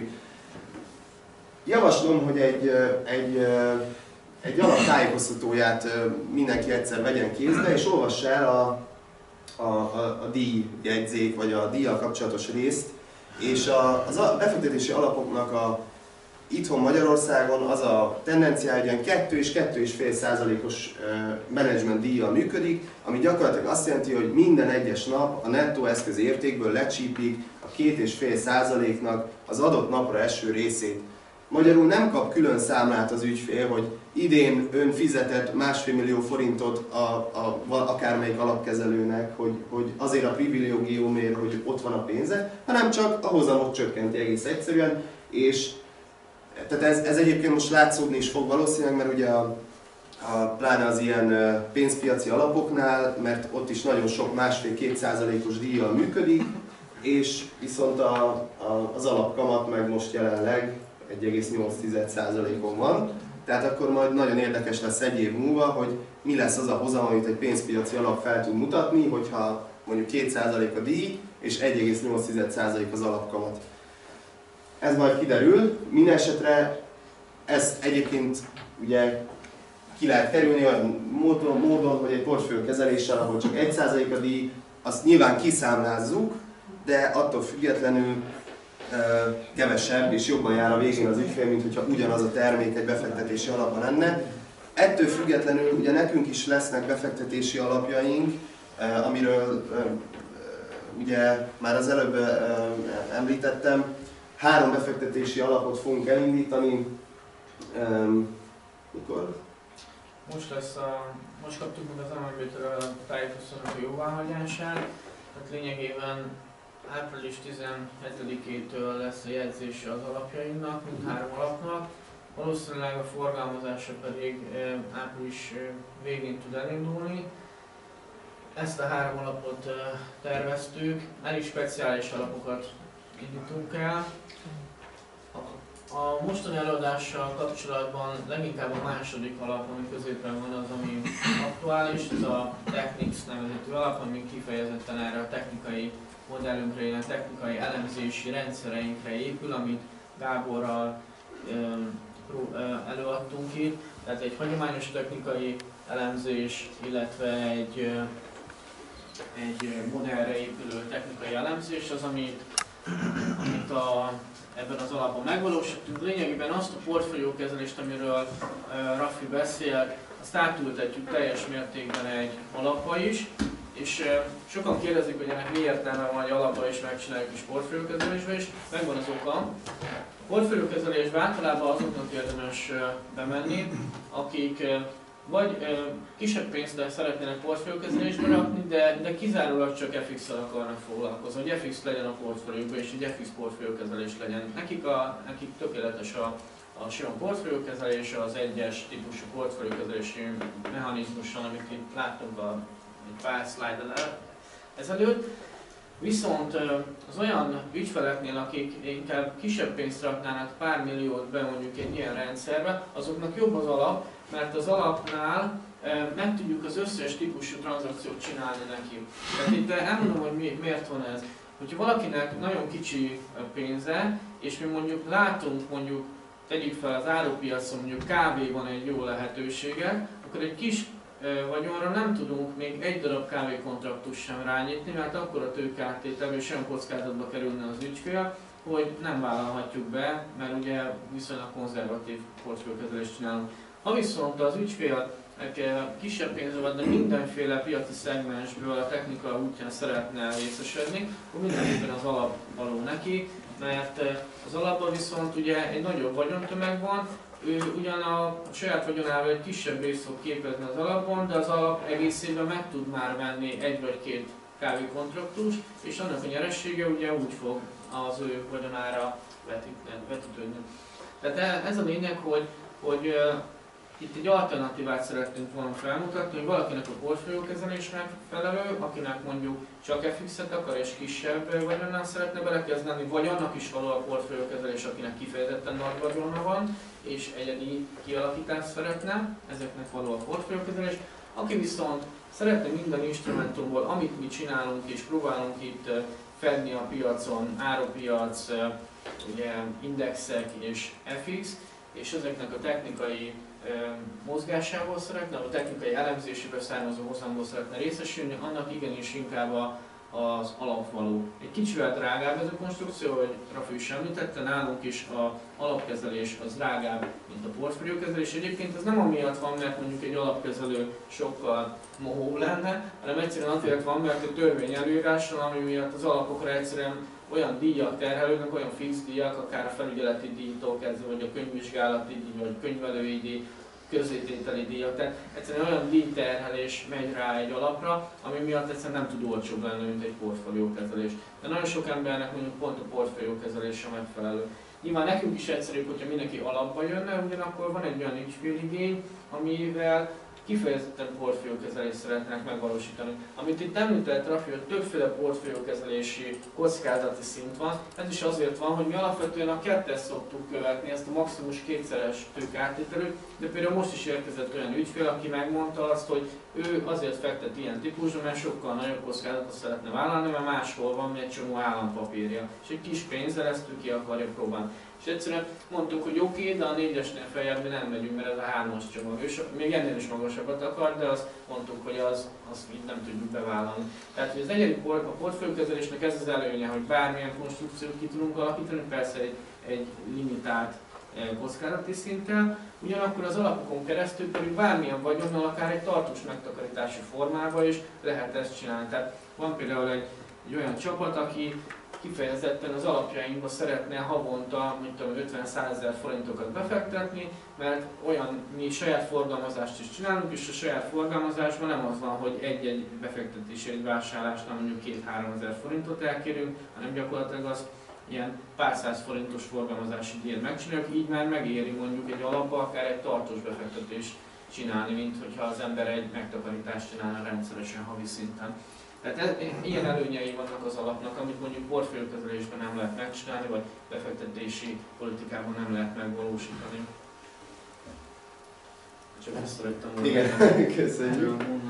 Uh, Szóval a Technics alapról igen, uh, ugye ezen kívül lesz még a Market Pro Bond, ez egy kötvény alap, ez egy derivatív kötvény alap, ami uh, borzasztóan exotikusnak hangzik, és az is, de hát Istvánunk szerencsére nagyon okos, úgyhogy ez, a lényeg ennek az, hogy ugye most már eléggé aszimmetrikus a kockázata egy kötvénynek, mert alacsonyak a hozamok. Itt long és short irányba is fogunk tudni majd menni, tehát, tehát aktívan kezelt ugye kötvény alap lesz. Remélhetőleg ugye ennek is ugye a hozam elvárás egyébként itt is ugyanaz. Itt a, itt a lényeg az, hogy, hogy ezt az aszimmetrikus kockázatot ezt nem lehet felvállalni egy normális kötvény alapban, hanem ezt kezelni kell ugyanúgy, mint bármilyen más kockázatot, ezt egy long short kötvény alappal fogjuk. Um, induláskor talán ez lesz a legnagyobb alapunk. Még ezzel kapcsolatban is szeretnék mondani, hogy Ugye ez a kötvény alapnál azért érdekes most, ez eddig, eddig voltak a sima kötvény alapok, amikor az ember befektetett egy olyan kötvény alapba, aminek tudta, hogy nagyjából mi a kockázat, az átlagos futamideje egy kötvény alapnak mondjuk volt két vagy három év. Most eljutott Magyarország is arra a szintre, ami már külföldön már régen probléma, hogy iszonyú alacsonyak az állampapírhozamok. Tehát választott egy befektető kétféle konstrukcióban mondjuk kötvénynél. Vagy azt választja, hogy nem vállal fel kockázatot, és egy nagyon rövid futamidejű, szinte ilyen pénzpiaci kötvény alapban tartja a pénzét. Ekkor nem visel el, de nem kell nagy kockázatot elviselnie, mert hogyha emelkednek véletlenül a hozamok a jelenlegi szintről, akkor se fog sokat veszteni a, az alapon keresztül. Ugyanakkor ennek az a hátránya, hogy jelenleg egy nagyon rövid kötvényportfólió, nagyon rövid futamidői kötvényportfóliónak a jelenlegi hozam mondjuk alapon keresztül ilyen 1 és 2 százalék között lesz elkövetkező egy-két évben valószínűleg, amíg nincsen Most vágják egyébként tovább. Tehát most megint egy ilyen kamatvágási cikluson. Van egy olyan megoldás, hogy magasabb legyen kötvényen a hozamom, ugye, mert a hosszabb futamidő kötvényeknek magasabb a hozamom most is, egy 15 évesnek, 10 évesnek azért még mindig 3% környékén van a hozama. Ugyanakkor ezeknél az a probléma, hogy oké, okay, 3%-ot megkaphatok, hogyha nem mozdul sehova a piac. De mivel amit a Rafi is mondott, hogy nagyon aszimmetrikus a helyzet, tehát nagyon közel vagyunk már a nullához, fölfele viszont iszonyú nagy tér van a kötvényhozamoknál. Tehát hogyha egy olyan kötvény alapot tartunk, aminek nagyon hosszú a futam ideje, ugyan több hozamot kapok, viszont ha elindul véletlenül fölfele a piac valamilyen negatív helyzet miatt, akkor iszonyú sokat fog bukni az ember rajta. Olyan sokat fog bukni, mint hogyha egy simán részvény portfóliója lenne, mert nagyon nagy az érzékenység. Erre lehet most megoldás ez a derivatív kötvényalap, ami azt gondolom egy új dolog Magyarországon, hogy úgy fektessen az ember kötvényekbe, mégis biztonságosabb kötvényinstrumentum, a kötvényalapokba, a ez a, nyilván a konzervatív befektetőknek egy célja, hogy kötvényeket inkább tartson, majd államkötvényeket, hogy közben ki tudjuk használni a piacnak a mozgását, azáltal nem csak longozhatjuk, hanem sortolhatjuk is a piacot. Tehát fel tudunk arra is készülni egy ilyen alapnál, hogy mondjuk egy hozamemelkedési időszak jön, majd szép lassan a hozamcsökkenési időszak után. Tehát ez, a, ez az előnye ennek a kötvényalapnak. És akkor még a harmadik alap, amit fogunk indítani, ez egy olyan market prog alternatív alapok alapja, ez egy hedge fund jellegű alap. Itthon még nincsen egyébként ilyen valódi hedge fundokba fektető alap. Itt ugye olyan, ez egy hosszabb távú befektetésre szóló eszköz, ugye arra való, illetve a befektetési politikája úgy néz ki, hogy a Hamar Márton kollégánk, akit bemutattam, ő is ugye igazgatósági tag és portfólió menedzser, ő fogja kezelni ezt az alapot. Neki több éves tapasztalata van, most is jelenleg egy dolgozik olyan céggel együtt, ahol hedge, kifejezetten hedge fundokkal foglalkozik, és vannak nagyon jó sztorik, tehát olyan kiszámítható bevétellel rendelkező cégek, például, például ügyvédi irodák, amik nyertes pereknek ugye a járadékát veszik meg. Ez egy kiszámítható bevétel, és gyakorlatilag ebbe egy, egy, egy átlag ember ugye nem, nem tud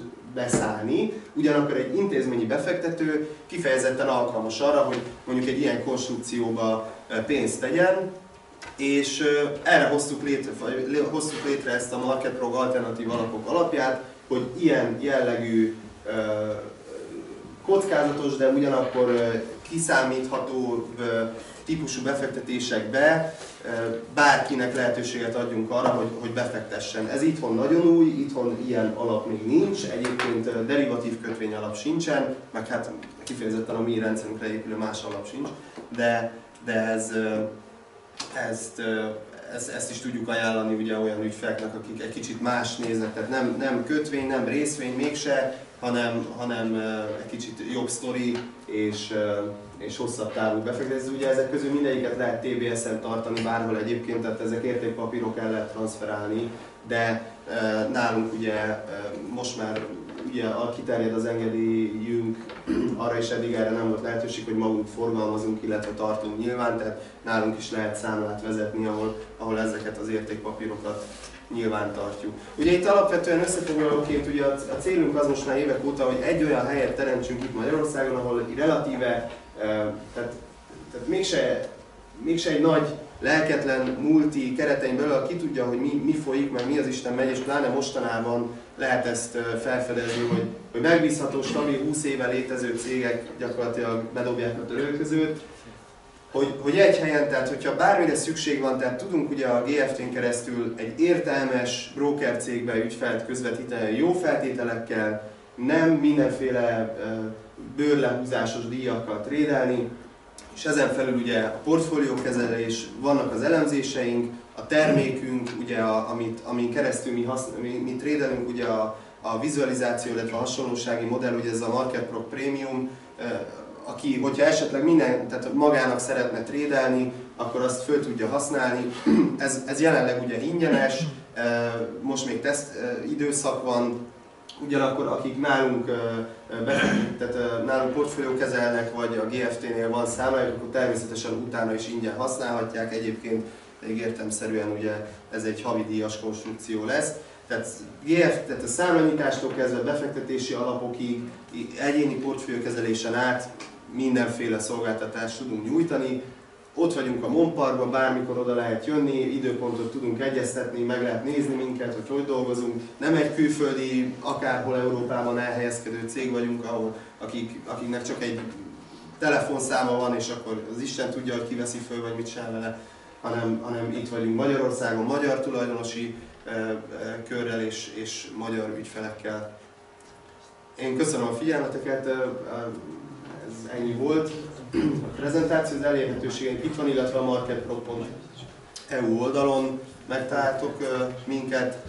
Még, még a kereskedést ettől függetlenül nem, nem, nem, nem kellene abba hagyni, én úgy gondolom.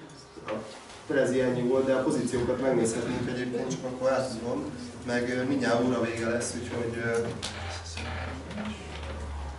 addig lehet, hogy egyébként egy szünetet tarthatnánk is.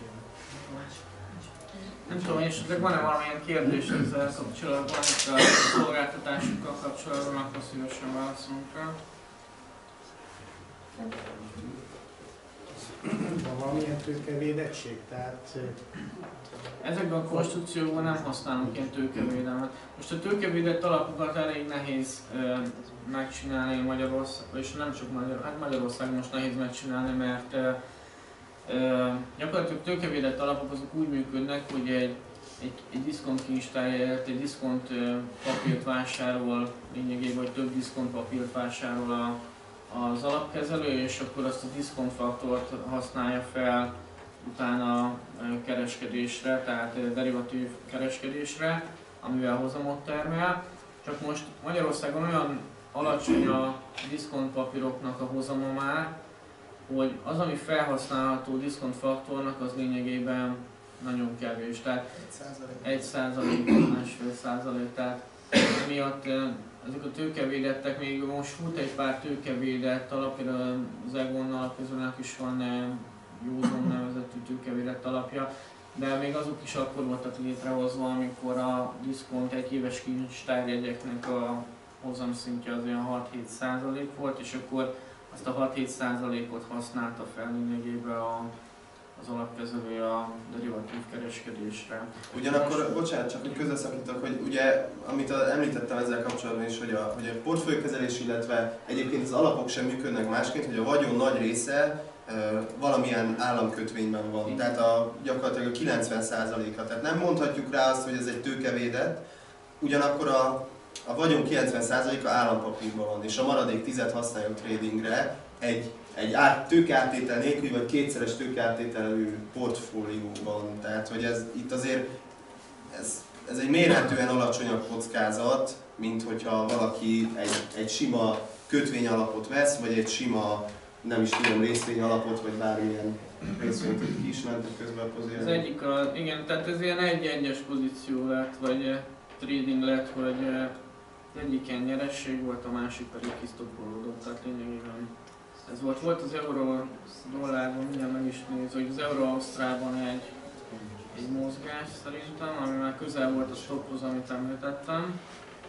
Még, még annyi a, a, a tőkevédelemről, hogy természetesen mi is bevatagok vagyunk, tehát ö, ugye most lehet üres a kassa ott egy kicsit, de, de ugyanakkor a, tehát a 20 ezer eurós ö, ö, beva garancia az a mi ügyfeleinkre is vonatkozik, illetve aki GFT számlával rendelkezik, az ottani garancia érvényes rá, ami 50 ezer angol font, ugye ahogy említett, az 20 millió forint, úgyhogy, úgyhogy ilyen szempontból jól vagyunk fedve.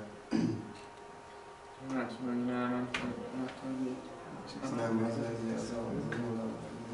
Szerintem tartsunk egy kis szünetet, és akkor